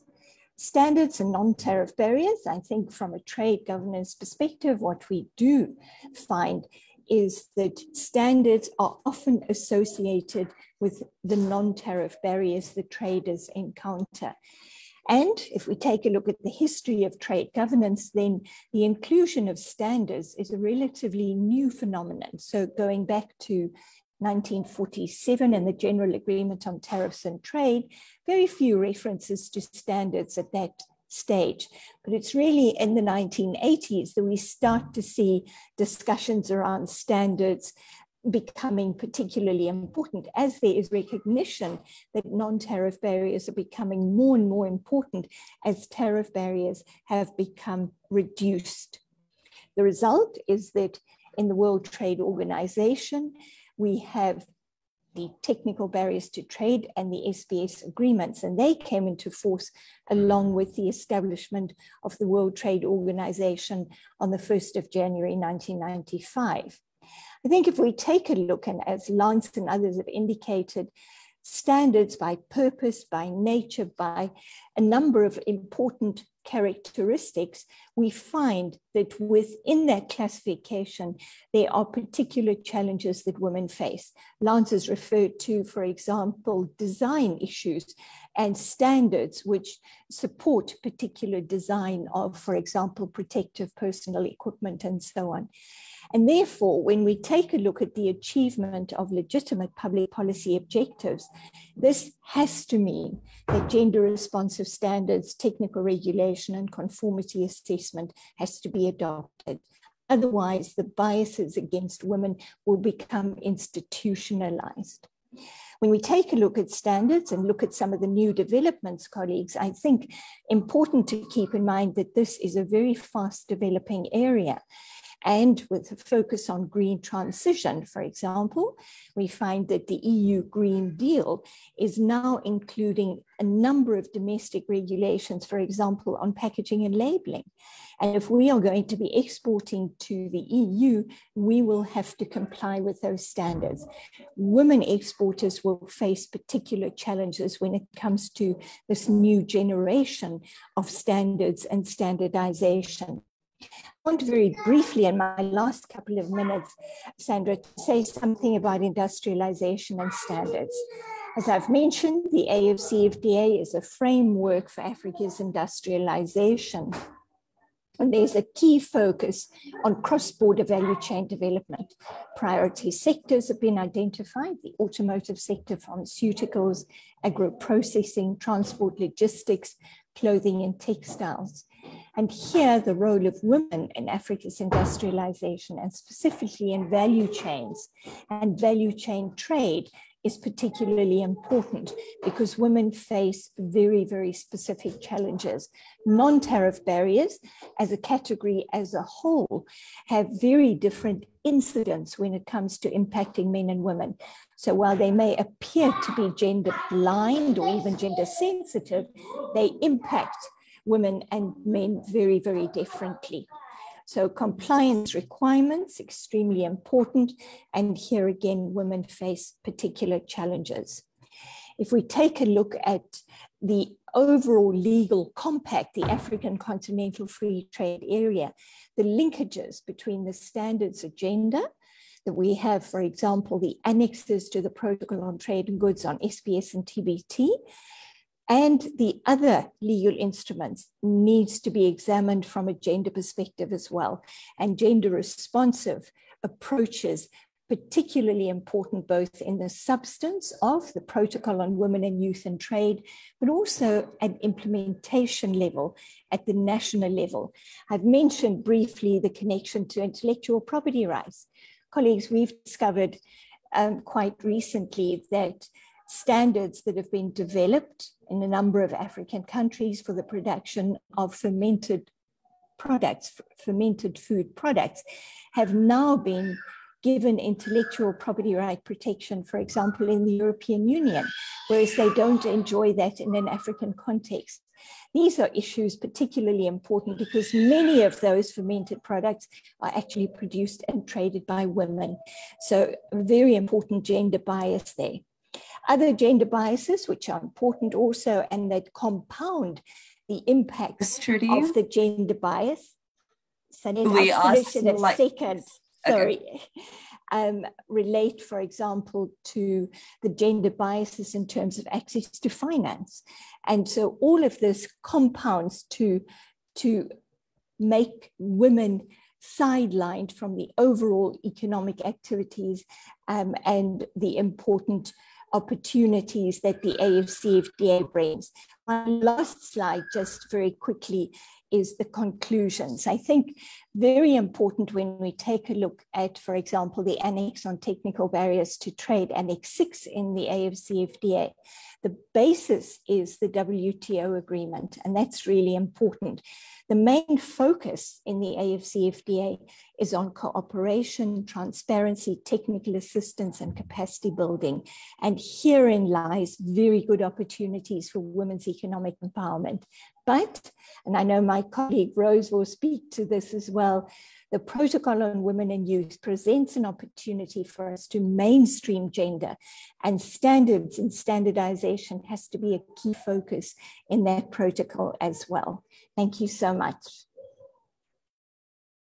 Um, thank you so much for a very insightful presentation, especially in terms of covering the key technical barriers to trade associated with the standards, um, and especially with regards to women traders and SMEs, as well as just covering what African governments and the standardization community should do to mitigate these uh, TBTs. So that was quite fascinating. Um, our next speaker is Ms. Palisa.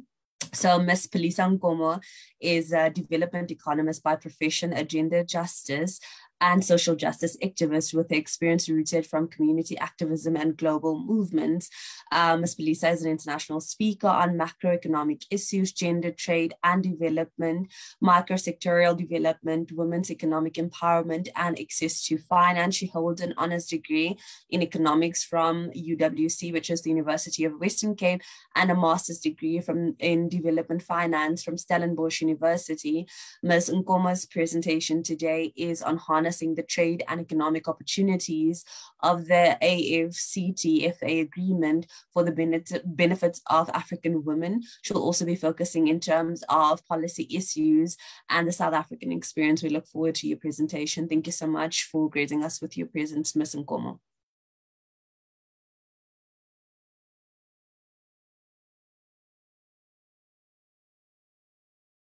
Ms. Nkomo, you are on mute. All right. Can you hear me now? I see there's a hand. Uh, yes, we can. Can the colleague with the hand up just kindly uh, add your chat, your question to the chat function, and then we will just ask that towards the end of the session, if that's okay. Thank you. All right. Thank you very much. Yeah. Thank you so much for the for the opportunity to, to present. I'm really going to write on the back.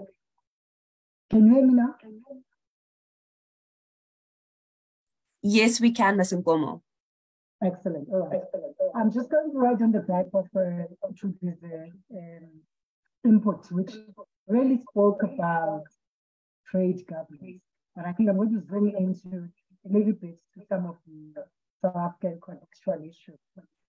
And in the first slide that you see before you there is that I just want to demonstrate, this is a slide that demonstrates participation of women and, and the man movement in terms of the But I think the slide is really intended to demonstrate that women still look less than men, but also there are also gender-related factors which are linked with historically with the role of uh, women in society. For instance, if you look in the uh, we are not getting you. We are not getting you. Uh, can you just kindly, Ms. Nkomo, can you just kindly pull your device slightly closer to you or can you just move closer to the device? All right, can I ask something? Yes. I've, yes, I've logged into uh, two devices. Can I, can the host allow me to unmute the other one? Because I think- Yes, please. Yeah, please host. Okay, Ms. Nkomo, can you say something so that we can just check if we can hear you? Uh, colleagues, can you just, um, can we just unmute Ms. Nkomo? She signed into two devices.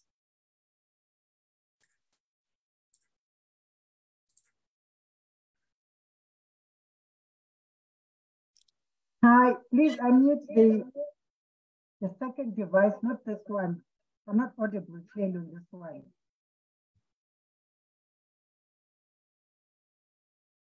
Okay, Ms. Nkomo, can you just say something so that we can just check if there's still an echo? All right. Can you hear me now? Yes, we can hear you. Thank you.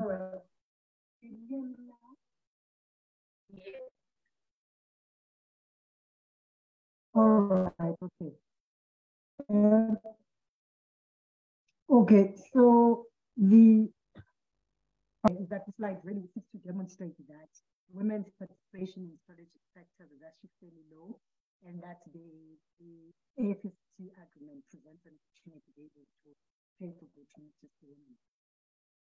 I think the next slide is that the key issue is that the opportunities for investing uh, in women the high growth industries that we really need to look at, which is around ICT agriculture, um, renewable energy, um, creative industry, tourism, and as well as hospitality. And the trade agreement actually creates, I mean, promotes the benefits of integration amongst countries and amongst women as well. Um,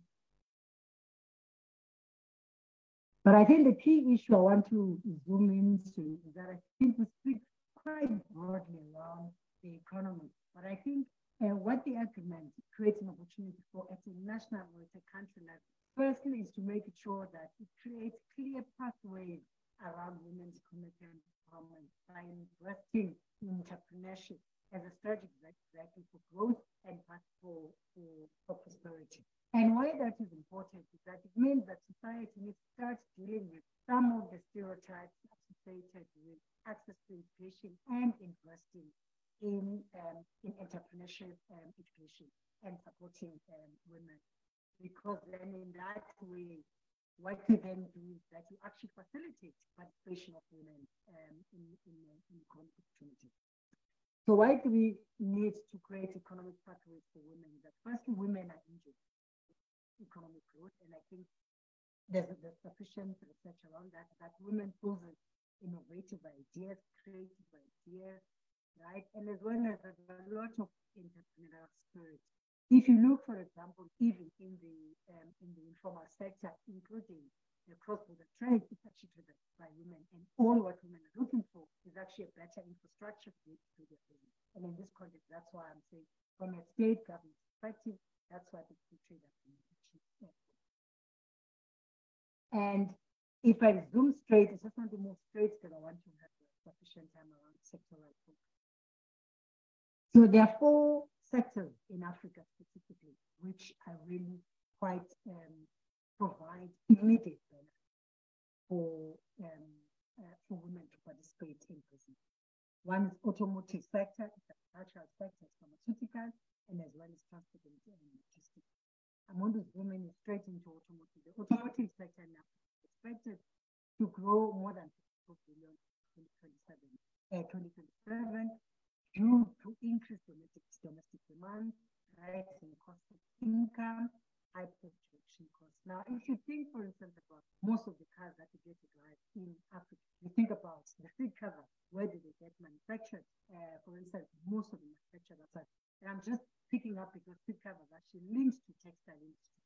And, um, and textile industry is actually linked to actually agricultural industry because, you know, the more ownership of cows, know, or slaughtering of cows, that allows actually for the production of the, the So, I mean, that's really one raw material where, in fact, that can actually be used. Um, less capital costs. Hello? Yes, we are still yes, here. Oh, okay. Yes, because uh, there's less capital cost with less use of um, machinery. So that's something that's a massive uh, opportunity that is um, that could be exploited. I know that several countries opportunities in few markets, for example, electrical vehicles. One South Africa and Egypt are currently piloting some of those uh, projects. So there are also other raw materials, for instance, you know, that are linked copper, platinum, and copper. But I think what then is these kind, these opportunities are just not going to be able to just fly into the continent without any clear facilitation at a national level. So what it means is that government at the national level must design policies that facilitate women's participation amongst those. We need to fulfill five critical issues which are linked to factors of production. The, the first one is really support women on product development. Like they must be financed um, on product. See there's a, I don't know whether there's a hacker here or someone just writing on that.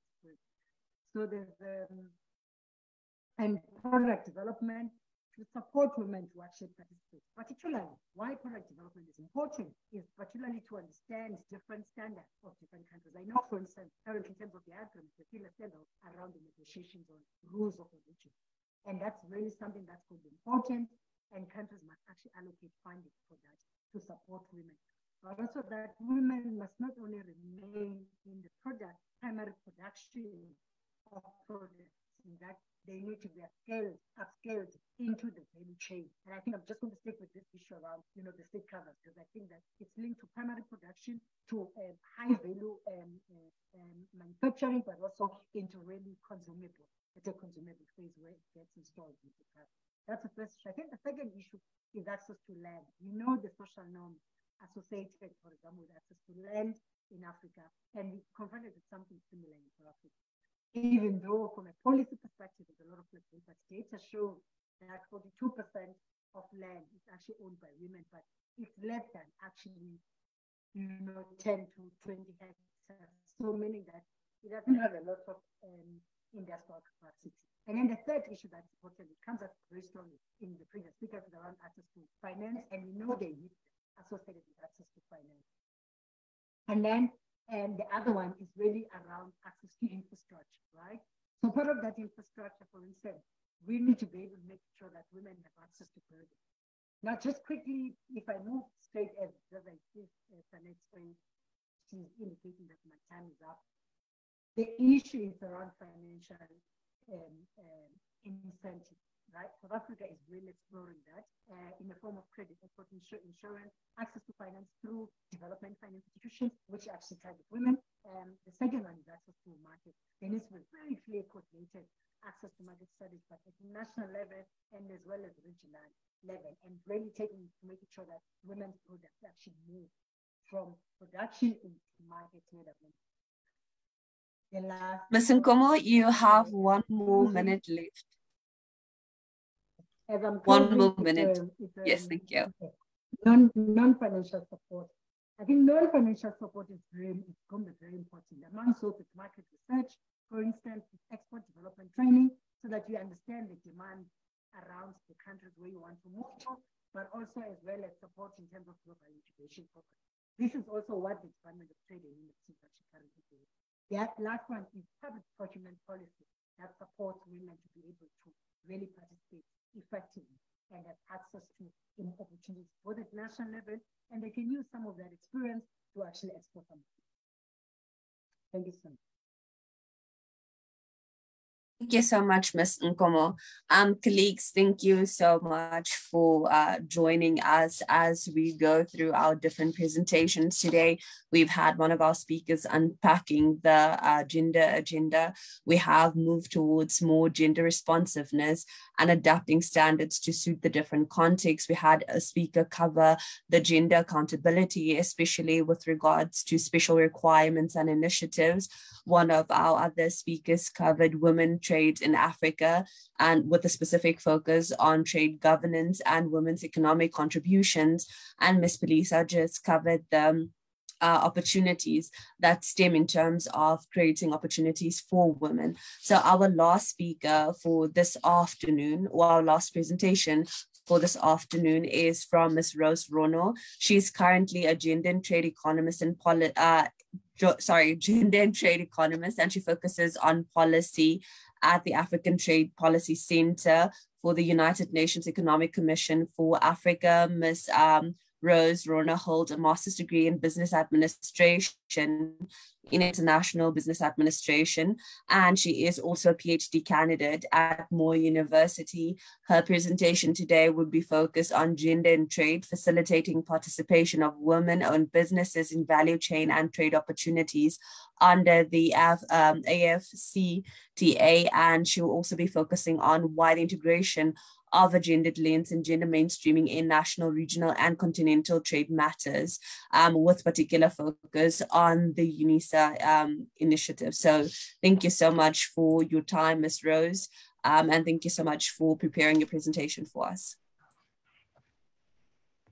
Okay, thank you so much, Sanet, uh, for, for having me um, today and uh, to congratulate all the previous speakers on the, the lovely discussions that uh, I've been listening into. So just allow me to put up uh, my presentation if that's okay with you.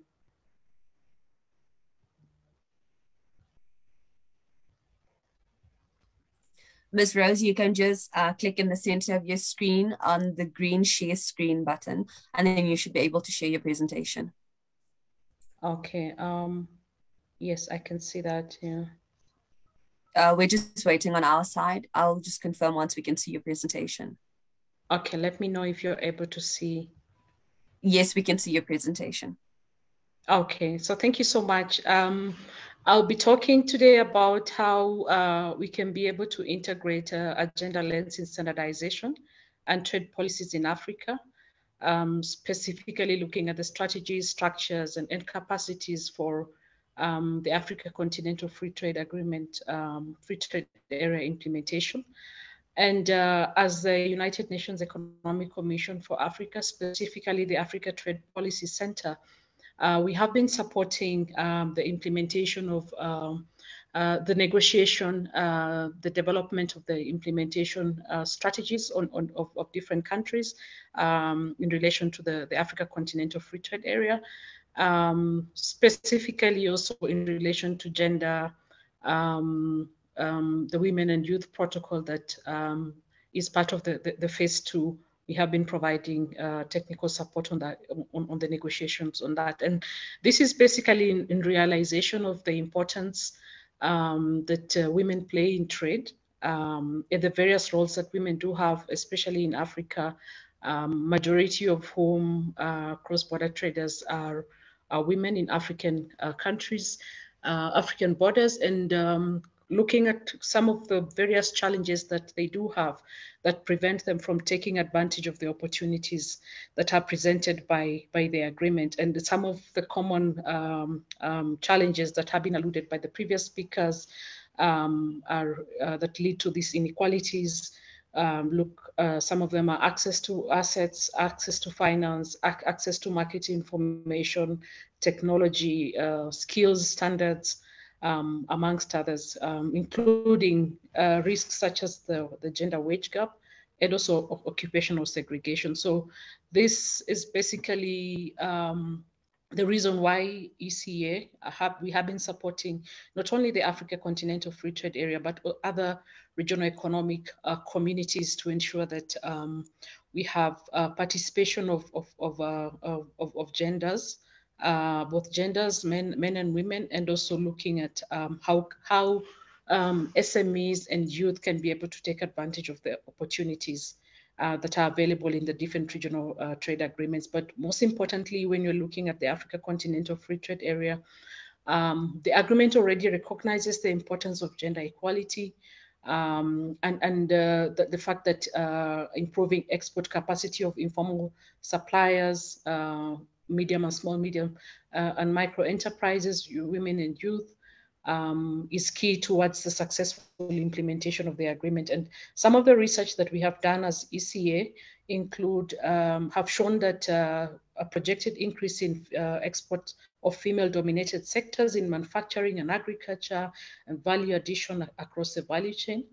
Um, also projected increase in uh, intra-Africa exports in labor-intensive sectors uh, and low-skilled wages where we have a concentration of, of women. So it's important that uh, strengthening regional value chains, customs cooperation, trade facilitation, and including um, harmonization of standards is really uh, key or taken seriously in, in, in terms of um, implementation of, of, of, this agreement and, and, and addressing some of the challenges that are there uh, specifically the non-tariff barriers, which disproportionately affect uh, more men than women when it comes to, to trade. So in terms of our strategy as uh, um, ECA, we have been supporting different countries to be able to, uh, first of all, develop their national implementation strategies of the Africa Continental Free Trade Area.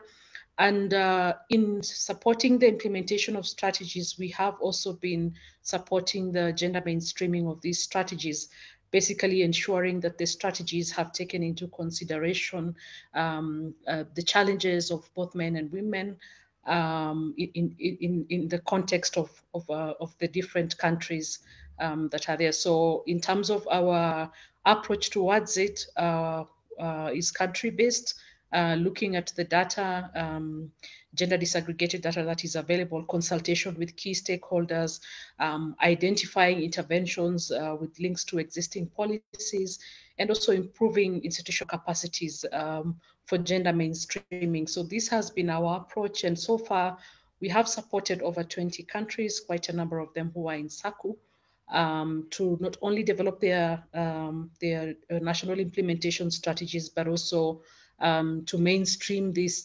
strategies uh, for gender. And some of the lessons that we've learned uh, from um, the gender mainstreaming um, work that we've been uh, doing is that uh, com uh, complementary specific uh, and context specific national and regional policies are required uh, to be able to achieve um, gender equitable out outcomes for the implementation. So it's not a blanket fit all.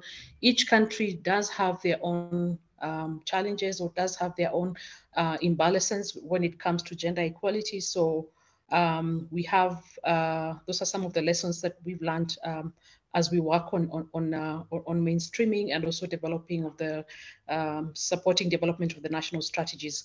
Also, advancing gender equitable outcomes in the CFTA uh, should be a central goal. So, um, and the approach that we do have is that uh, um, um, gender mainstreaming ensures that countries do utilize, uh, fully utilize their, their capacities and are able to compete um, effectively by utilizing both um, the capacity, capacities of men, women, and also um, MSMEs and, and also youth, some of whom do have several challenges when it comes to um, um, utilizing opportunities under trade agreements such as the, the Africa Continental Free Trade Area. I'm going to just highlight some of uh, a study that we did um, together with ARSO and AUC on identifying uh, priority products and value chains for standard harmonization in Africa. And um, one of the objectives or the objectives of this was basically to identify priority Africa value chains, identify priority products for standardized harmonization uh, within this value chain. And um, the scope was um, at the REC level, COMESA, EAC, ECCAS, ECOWAS, SADC, and UMA.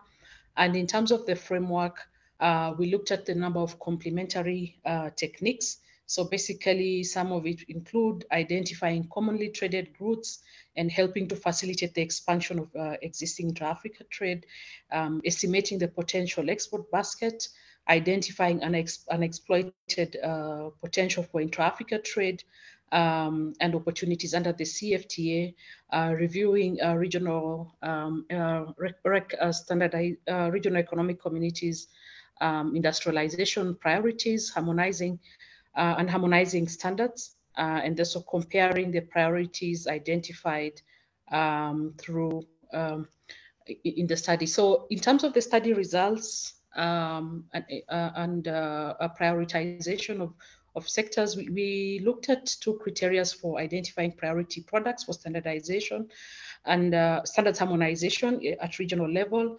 And um, the priorities um, or the criteria identified as most suitable um, is the product uh, must have you know comparative advantage and is competitive at least in two regional economic communities and then also a harmonization standard for the product should already exist in at least one of the regional economic communities and in the context of gender um, looking at uh, considering female dominated sectors in terms of prioritization of, um, of, of uh, uh, products that um, should be harmonized. So in terms of the structures, um, the cooperation on quality infrastructure, um, so small businesses uh, um, score the infrastructure environment comparatively poor. So in terms of utilization of, uh, of the structures that are there, you find that small businesses and even women and youth uh, do not have uh, the capacity to be able to utilize the, the structures that are there in place, the quality structures that are there in place to help them to comply.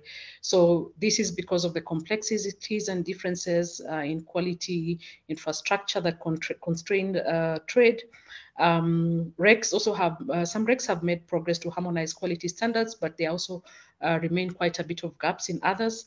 Um, and then the, the, CFTA offers that opportunity to be able to cooperate more effectively on quality infrastructure systems at the continental level. So you can see there the spaghetti ball, ball with the different regional economic communities all having uh, differences uh, in standards. And, and this is where now ARSO comes in and also ECA and other partners to be able to see how the harmonization and standardization can be done um, specifically also looking at the priority uh, products that I have, have, I have mentioned, looking at uh, uh, canned products which are dominated by men, by women, uh, and youth, how ca they can be uh, prioritized, and also where uh, standards already exist. So we say that there's no need of uh, reinventing the wheel. And um, in terms of our recommendation, we're looking at, uh, we recommend um, mainstreaming gender in terms of national implementation strategies and action plans. Um, and uh, that's the work that we've been doing, and specifically to standards, uh, recognizing the challenges that women do have um, in, in uh, um, accessing the standards in terms of cost, in terms of the complexities. Then at the regional level, uh, supporting uh, collaboration and building technical capacities um, through the existing uh, regional economic community infrastructures.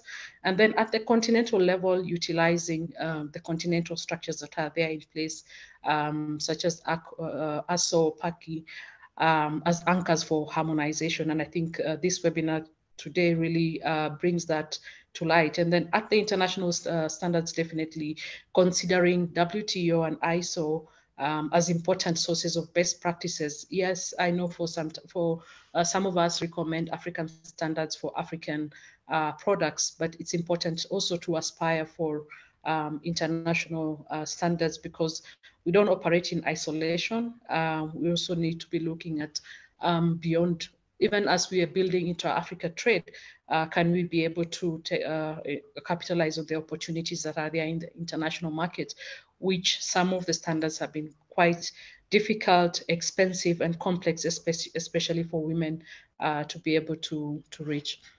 So in terms of the roles of REGs, um, uh, they do serve as the building blocks blocks for the CFTA, and uh, they need to continue uh, playing a, a, crucial role um, in, in ensuring that uh, African quality system infrastructure systems have been harmonized, especially in light of the Africa Continental Free Trade Area that brings together all the regs. So we need to work together to be able to expedite harmonization of standards at REC level, starting at REC level, so that at the continental level, once we have all the regs harmonized, then it becomes very easy to be able to harmonize um, at the continental level.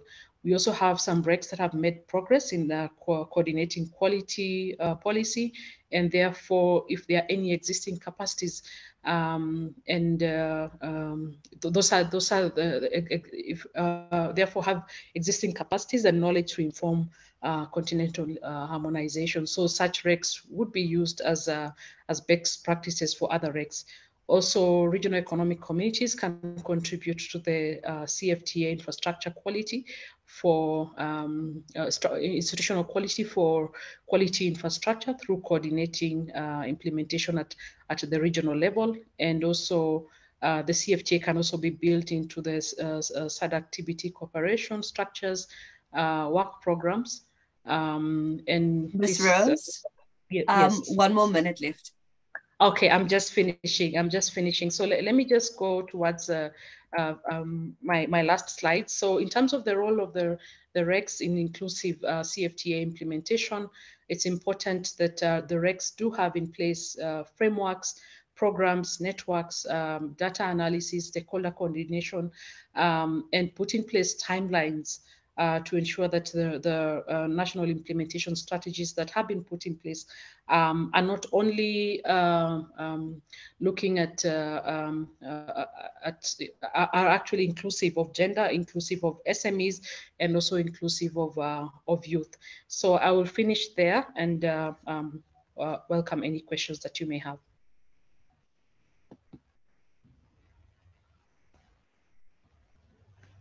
Colleagues, I would like to thank each of you for taking such complex issues and creating very nuanced uh, answers for us in terms of your different perspectives in terms of this.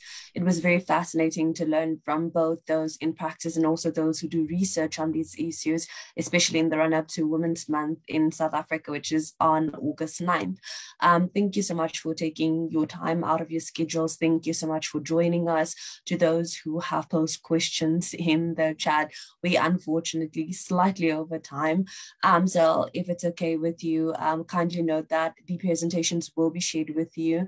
Um, the host has seen the request for sharing the recording with you and will get back to you in terms of that.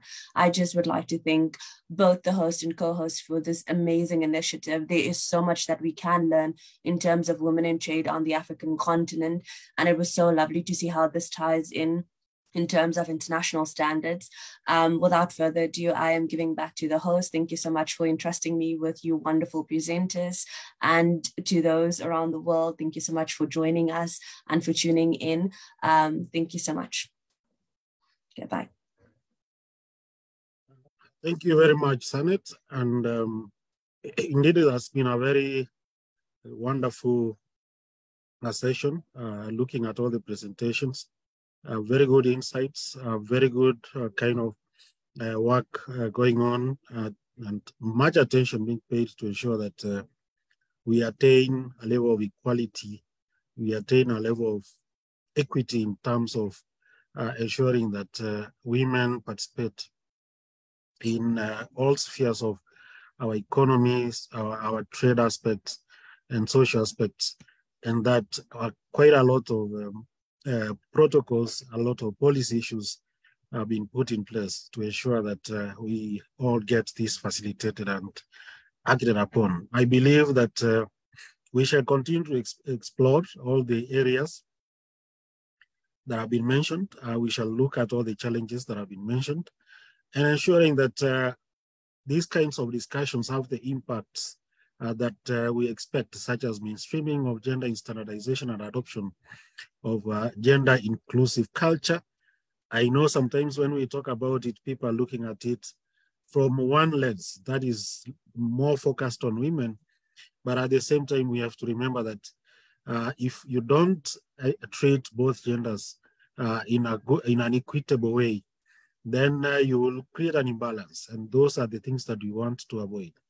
Uh, the second point, of course, gender equality and women's empowerment as per the Agenda 2063 and the UN, the, UN uh, uh, SDGs uh, 2030. That is one of the things that we need to look at very carefully. Uh, are we going to meet those? Uh, we shall be having an unmet goal. we're also looking at gender responsive standards and their implementation as tools for gender equality and women's empowerment. that is something that um, very active role. And if you look at uh, our flagship sustainability standards, you'll find that these are issues that we took into account uh, quite a while back. And as the discussions are going on at the AFCFTA level, uh, the AUC level, at uh, UNECA level, uh, we have actually given our draft standards, which we had initially developed in this, uh, to, to show that the standards we've done so far are take into account uh, gender responsive aspects. And we are not only doing that, but we're also look, looking at the staff levels and all that. We are also working in that direction. Number four, we're also look, looking at gender balance in leadership and in all levels of standardization organizations. And I think we are encouraging uh, all these activities to take place. So uh, because of time, we cannot go through all this. Uh, we will, uh, um, of course, share this and ensure that we can get this uh, done. So the next um, webinar will be done uh, in partnership with uh, the uh, SARS Organization of Nigeria. And it will, the theme will be trade barriers in agricultural trade. Uh, if you are looking at uh, the continent, most of the priorities uh, that have been done, you find all the studies point to agriculture and agro-processing. But we also understand that this is the area where we have a lot of uh, difficulties. Uh, what are we doing in that respect? Also, of course, in partnership with uh, development uh, organizations like uh, UNECA and FDP, uh, partnered, have partnered to develop standards to facilitate trading this. we're having quite a lot of discussions and projects that are in, in that light to ensure that we can address the, the barriers through the standards and other related instruments. next slide. Um, let's move. So at, at, this point in time, uh, if you can move to the next slide, please. Uh, I, I, think um, at this point in time, I'll give back uh, to our co-host, uh, Sadhvir, um, maybe if you can highlight some of the issues uh, that South, South Africa is doing, uh, some of your programs uh, that uh, you would like uh, attention to, and of course, your last take on the webinar today. Welcome, sir. Thank you. Um, and, and firstly, I would like to thank Sanet for an excellent moderation of a very valuable session. Uh, secondly, I would like to thank all the speakers, uh, the panelists who have made very interesting and informative presentations on a very important theme. Colleagues, um, I must say that we must all agree that there's a lot of work that still needs to happen. And in order to initiate uh, this work that needs to happen, uh, we need to embrace various issues and, and, and foster change. That is the first step that we need to take. We need to acknowledge that there is firstly a problem. Secondly, we need to create a policy and a strategy. And thirdly, we need to make sure that we develop a pragmatic action plan in implementing gender equality. Um, the uh, the colleagues have expressed a number of initiatives uh, as panelists, and uh, and uh, colleagues, I think uh, there's an opportunity for you to take up on the uh, initiative that Lance presented as UNECE around the e-learning platform, as well as training manuals that are available on gender responsive standards uh, and good practice. Um, I think uh, get in touch uh, with Lance or get into the website. So uh, that will you know, give us uh, some good practices in terms of implementation of gender responsive standards. Um, Trudi gave us some very hard hitting statistics, um, Trudi. Uh, and again, we must, must deal with the reality um, and, and these are around, as an example, 85% of economic activities uh, in Africa are in the informal sector. But more importantly to our topic, 90% of the informal trading in Africa are conducted by women. Um, and the other astonishing statistic, uh, which is a reality, is that there are fewer women representation in large businesses as compared to, uh, to men. I think it's time for us to to, to take a stance. And um, I think there's a lot of talking being conducted. And I think what we need to do is we continuously talk the talk. And I think that time has expired. We need to walk the walk, colleagues. And I think that there's a lot of work that we, we need to endeavor. Cooperation, collaboration is key to how we achieve this because colleagues pointed out there's different developmental aspects of the different countries, which is pretty diverse in the African continent. And we need to make sure that we support ourselves uh, and, and, uh, and the region. Gender equality, equality um, should address a number of pillars. And this goes beyond trade and standardization. Matters to be addressed includes amongst a, a number of other things around anti-discrimination, ensuring inclusivity. One very important aspect that you know uh, does not relate to maybe trade and standardization is protection against gender-based violence, the burden of care, pay equality, empowerment, health and safety, and access to finance. You would recall that pay equality is a very uh, important topical aspect with the Women's Football World Cup taking place. And there's a number of last minute negotiations uh, between the teams, the players, and the managers and the and the various directorates of the football associations in making sure that they are adequately paid. That shouldn't be the case. That is just one example of what uh, how women are being discriminated uh, in their professional lives as well. Uh, from a SABS perspective, I'm very um, happy to um, to share um, our current guideline on gender responsible standards and action plan. And uh, we'll share that with ARSO so colleagues can have a, a, good understanding of where we are and how we're doing things. Uh, it's a long journey. It's not an easy journey in standardization and making sure we, we include standardized gender responsible standards and standards development. But I think if we start uh, small and set uh, targets uh, and move towards and, and direct initiatives towards those targets, we'd certainly achieve them. So once again, it's been a great pleasure to be part and co-host this very important uh, session. Uh, and I wish ARSO uh, all the best in their future webinars. Thank you once again. Thank you, Dr. Sadhvir, and uh, thank you all the panelists. Thank you, Sanet, for your excellent uh, moderation. And we also thank uh, all the participants uh, who joined us, and we don't take you for granted.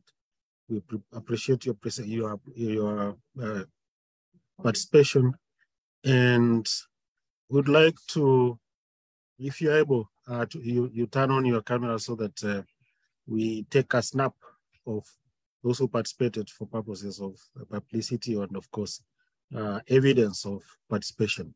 So if you uh, all please do that so that we take and then we shall post this. Uh, um, ICT, tell us when you are through.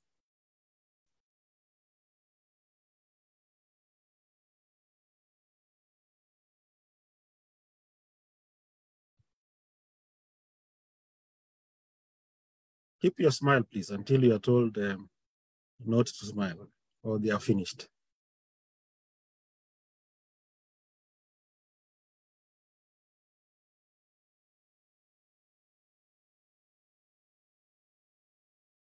Thank you very much. We took the screenshots. Thank you. Yeah, thank you very much. And uh, we welcome you to our next uh, webinar. And it will be, uh, as we have said, the next one will be with Nigeria Standards Organization of Nigeria, and uh, we shall be seeing what happens. Thank you very much, everyone. Bye-bye.